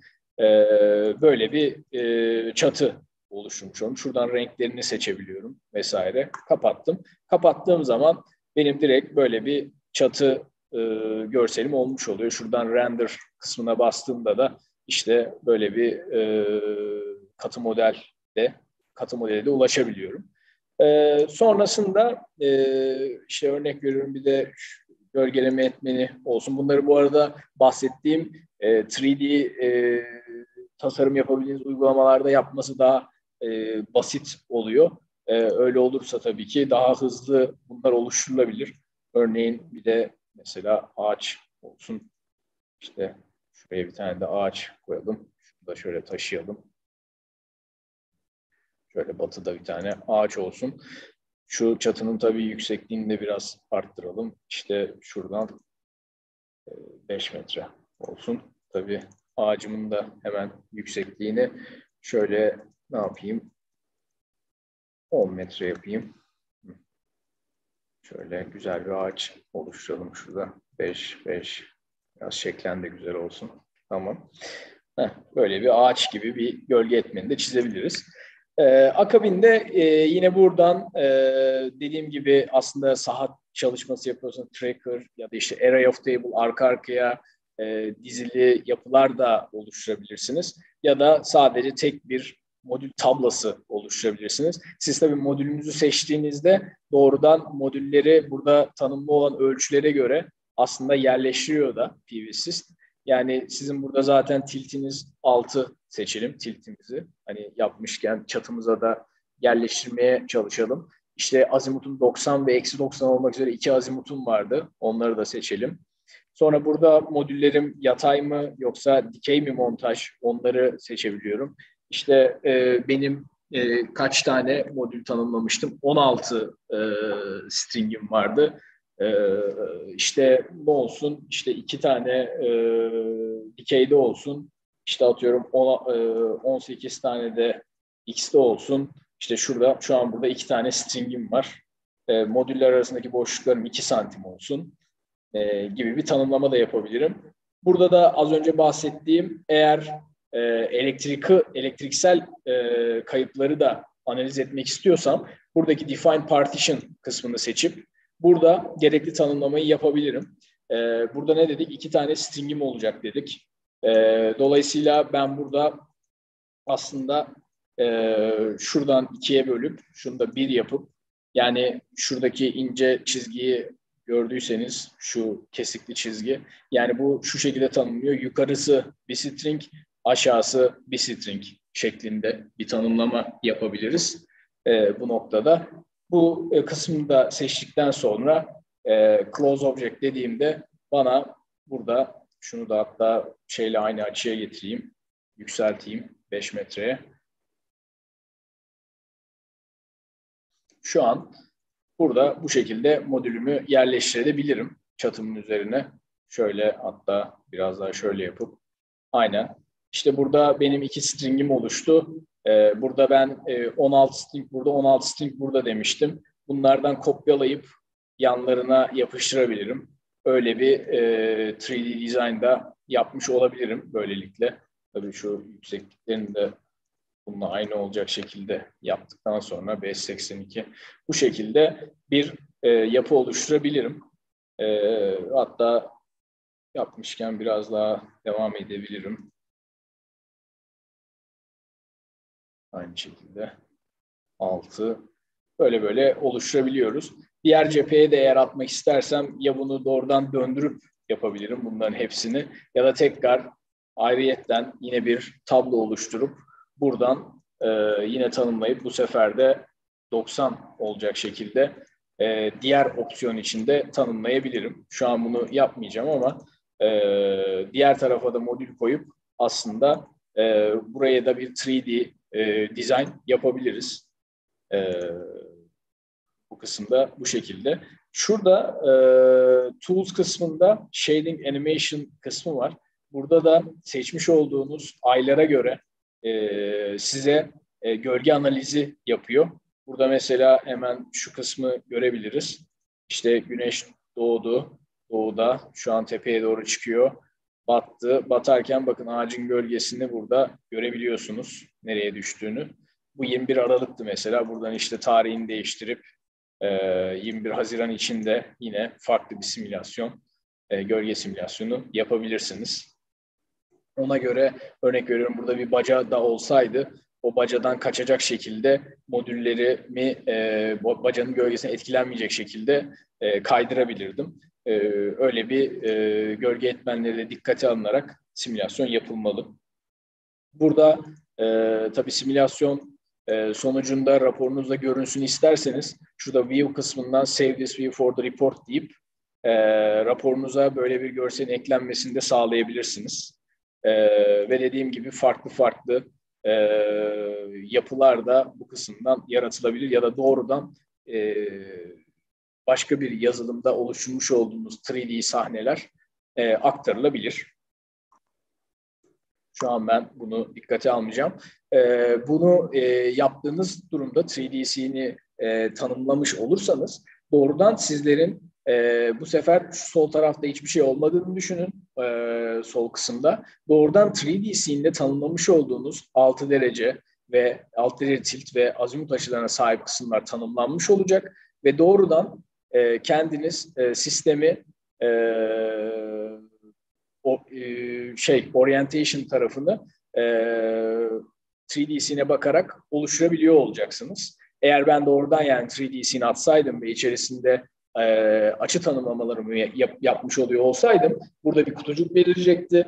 Ona bastığımda da doğrudan benim orientation tarafım aynı bu şekilde oluşmuş olacaktı ve burada dikkate alacağım e, gölgelemeler de according module string şeklinde e, tanımlanmış olacaktı. Bir diğeri de enerji management kısmı. Bu enerji management'ta eğer herhangi bir limitleme yapacaksanız, e, örnek veriyorum bir güç limitiniz var ve o değeri aşamıyorsunuz. Burada o e, güç değerini de buraya yazabiliyorsunuz. e, veya P50 ve P90 dediğimiz e, olasılık yaklaşımları var.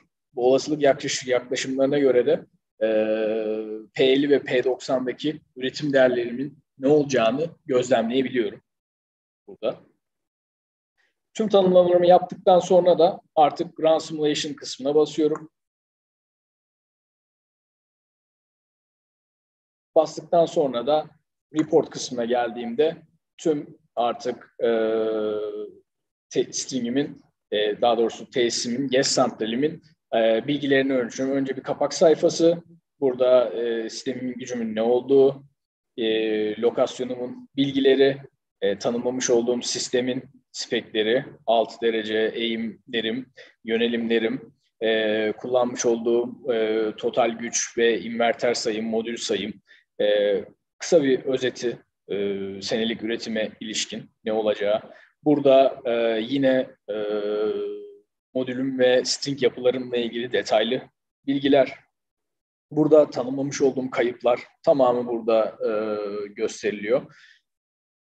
Bir indiğimde, bir aşağı indiğimde Horizon kısmı, artık Horizon e, kaybımı da burada görebiliyorum. Horizon Map. Ve e, alıntılar da yapmış olduğum sunum esnasında e, genel e, durumu özetleyen kısım aslında e, total üretim değerim, produce enerji, spesifik üretim değerim ve performans oranım. E, burada da her ay için görebildiğim tablo aslında. E, bu sol taraf 4, Diff 4 ve T-Ambient e, kısmı meteorolojik verilerim. E, şurada da E-Grid'in toplamı da aslında zaten şuradaki toplam benim e, üretilen enerjimi veriyor ve her ay için her aya ait PR değerlerim burada yer alıyor. Bunun hemen altında da e, benim artık kayıplarım. Bakmıştık zaten far shading kaybım. Eğer ben burada 3D bir e, sahne tanımlamış olsaydım orada mutlaka bir near shading kaybım hemen burada beliriyor olacaktı. IEM kaybım geldi. Kirlilik kaybım geldi. Aşağı indim. Artık şu yukarı kısım e, sizin dış etmenleriniz diyeyim. Yani bir gölgeleme etmeni işte far shading, e, near shading, işte IEM yani artık modül güneş ışını e, modülüme geldi ve orada ilk maruz kaldığı kayıplar diye tanımlayabilirim bu kısmı. Kirlilik faktörü. Bunları bu kısımda önce hesaplıyor. Daha sonra artık modülün içine giriyor gibi düşünün. Modülün verimliliğini e, hesaba katıyor ve akabinde e, modülün ışınım ve sıcaklıktan kaynaklı kayıpları, modülün quality loss, e, bahsetmişim negatif olarak da aslında bize pozitif etkisi olan e, kayıp, LID kaybı, mismatch kaybı, DC kablo kaybı, inverter verimliliği, AC kablo kaybı gibi kayıplar. Yani inverter e, modülümün e, güneş ışını modül hücreler içerisine girmeden önceki e, kayıplarım ve sonrası şeklinde bu kısmı da özetleyebiliriz. Bu şekilde e, raporumda çıktıktan sonra doğrudan şuradaki seçenekten save, e, şurada tam görünmüyor, save document as pdf deyip doğrudan masa üstüme e, kaydını da alabiliyorum. Bu kısmı doğrudan masa üstüne proje adımı girip kaydedebiliyorum.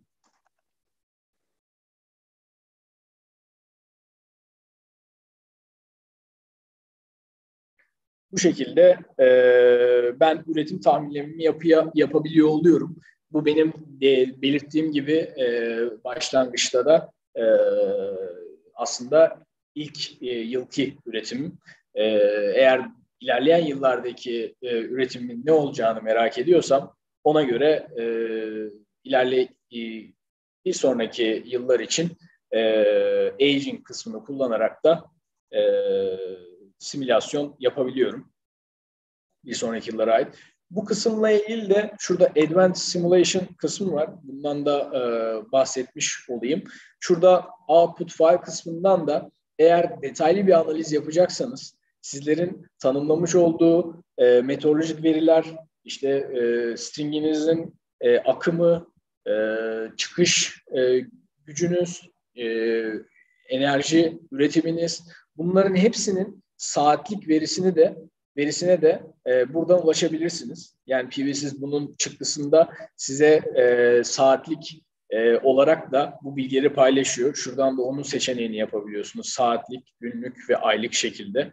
E, buradan istemiş olduğunuz datalar, örneğin ben e, e-grid, e, sisteme basmış olduğum e, enerji üretimi e, ya da işte stringimle ilgili burada e, görebileceğiniz işte ohmic wiring loss'unun saatlik ne kadar olduğunu ya da e, stringimin akımının ne olduğu, voltajının ne olduğu gibi bilgileri de buralardan e, istediğim tüm e, dataları saatlik olarak alabilirim. Buradan hemen change file deyip masa üstünü seçip örneğin bir tane alalım.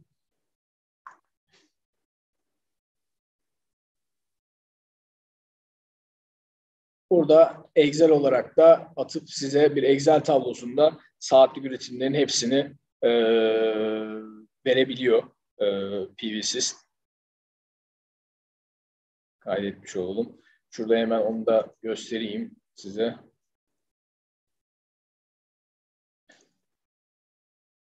Burada gördüğünüz gibi saatlik artık üretimler, saatlik üretimlerin hepsini burada görebiliyorsunuz. Bunların hepsini zaten topladığınızda burada detaylı bir e, analize de girebilirsiniz aslında. E, hangi saatlerde ben ne kadarlık bir üretimim var.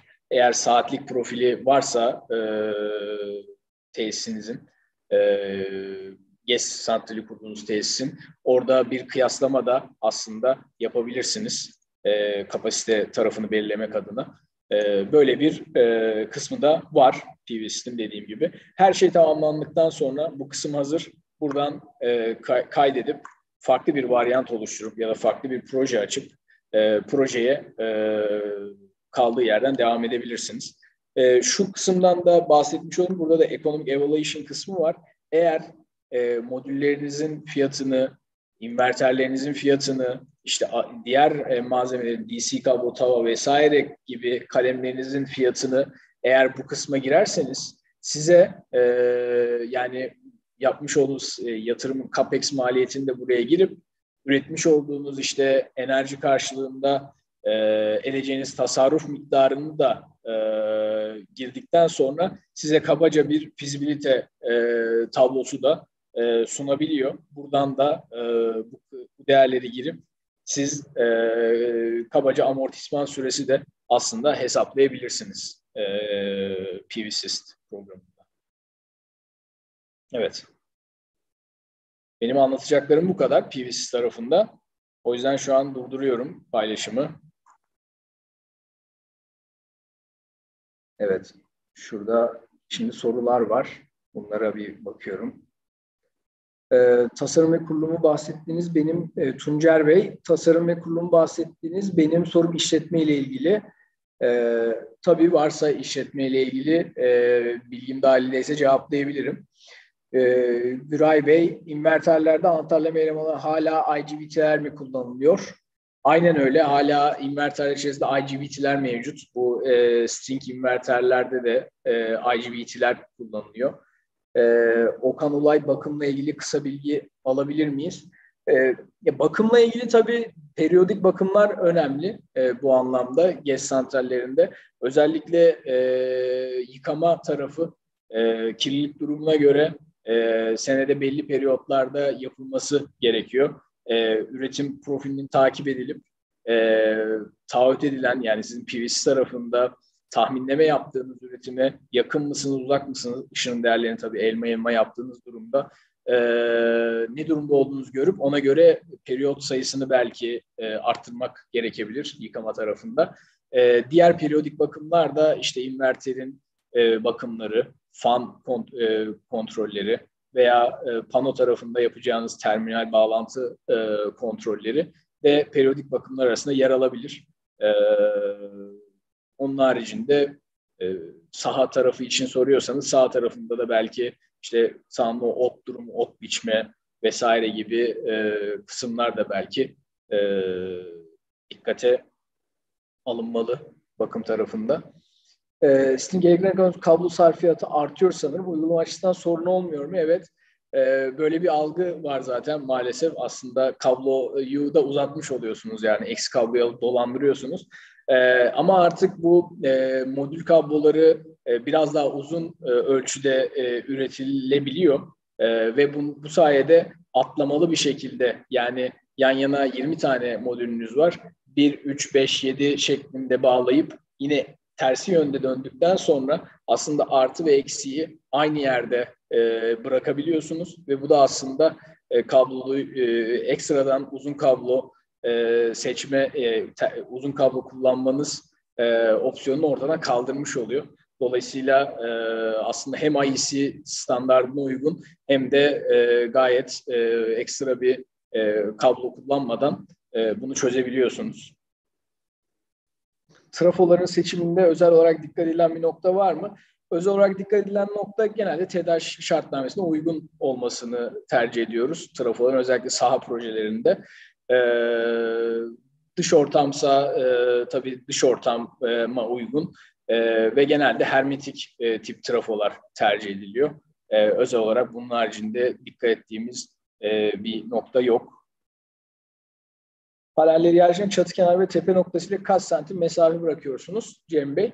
E, genelde e, minimum bir, bir metre bırakmayı tercih ediyoruz. Çünkü e, çatılar yüksek ve oradan tabii iş güvenliği açısından da düşme e, riski oluyor haliyle. Hatta e, bazı projelerde mümkünse yaşam alatı e, da yapılması e, genelde e, tavsiye ediyoruz bu anlamda. O yüzden genelde bir metre aslında her yerden bırakabilir. Tepe noktası ile ilgili olarak da genelde çatıların tepe noktasında mahyalar oluyor ve o mahyaların üzerine e, işte montaj esnasında personeller bastığında e, deformasyon oluşabiliyor o noktalarda. Bazı sızıntılar e, yaşanabiliyor. O yüzden o mahyalardan da kaçacak ölçüde aslında e, tepe noktasında da mesafe bırakmak gerekiyor.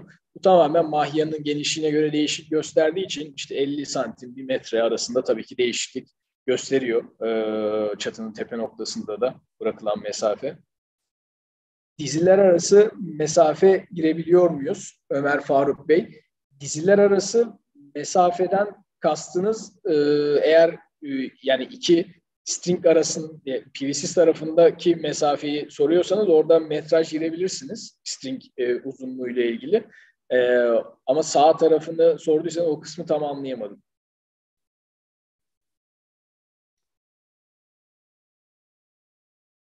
İşletme yaparken reaktif ve kapasitif endeksler için müsaade nasıl kalıyor? Sadece tesisin kompansasyonu yeterli mi? Ekstra bir şey yapmak gerekiyor mu?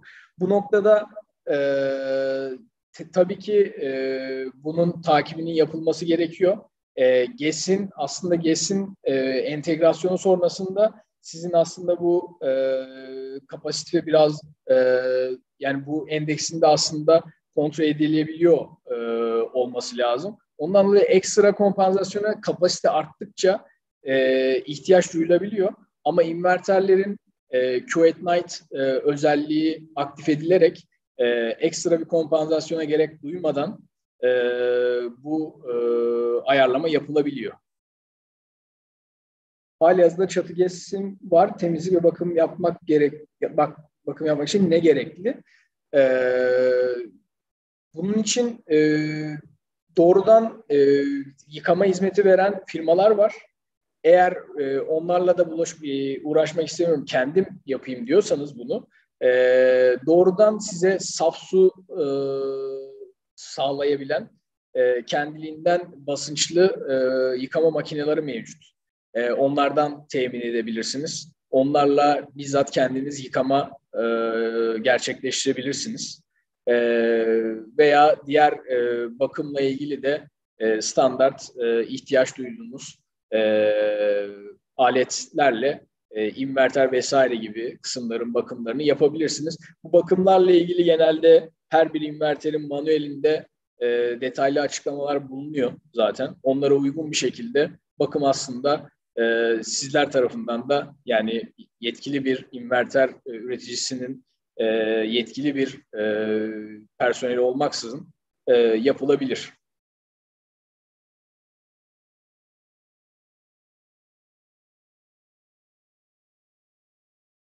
Evet, yukarıyı bir kontrol ediyorum. Kaçırdığım soru var mı diye.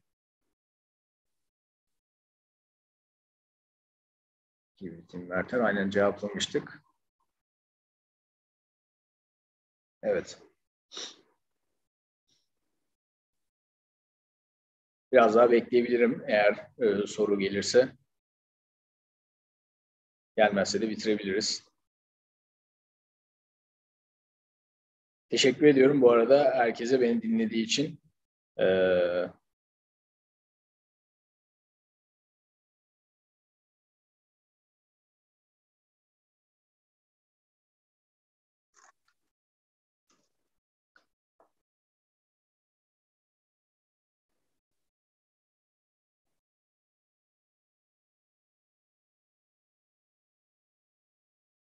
ne sıklıkla yıkama yapılmalı? Be- belirttiğim gibi e, yani e, periyodik olarak izlenmeli aslında. O yüzden aslında e, uzaktan izlemenin önemi burada e, biraz e, önemli oluyor. Yani ne tesis, tesimin ne ürettiğini e, gözlemlemeliyim ve onu da e, öncesinde yapmış olduğum tahminlemeyle kıyaslamalıyım ki e, ne sıklıkla yıkama yapacağımı belirleyebileyim. Bazı çatılar oluyor çok fazla kirli oluyor. Onda bu periyotlar arttırılabilir.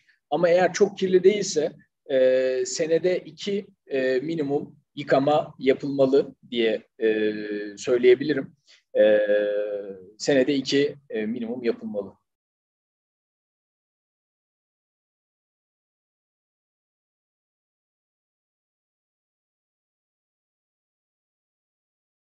Bu arada yıkamada o saf su yani iyonize edilmiş su olması gerekiyor yapılan yıkamalarda.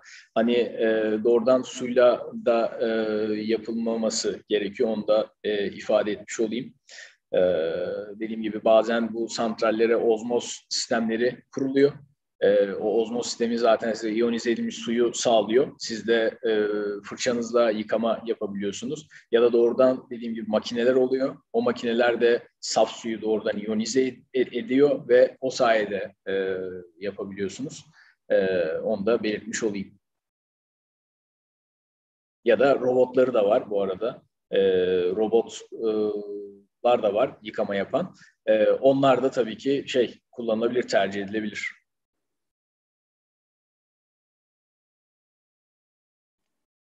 Orhan Bey teşekkürler. Güzel bir sunum oldu. Ağzına sağlık. Sağ ol. Sağ olun. Ee, bayağı da bir yoğun katılım gerçekleşti. Ne güzel. Ben de teşekkür ediyorum size beni davet ettiğiniz için. Sağ olun. Herkese iyi günler diliyoruz arkadaşlar. Bir sonraki seminerde görüşmek üzere.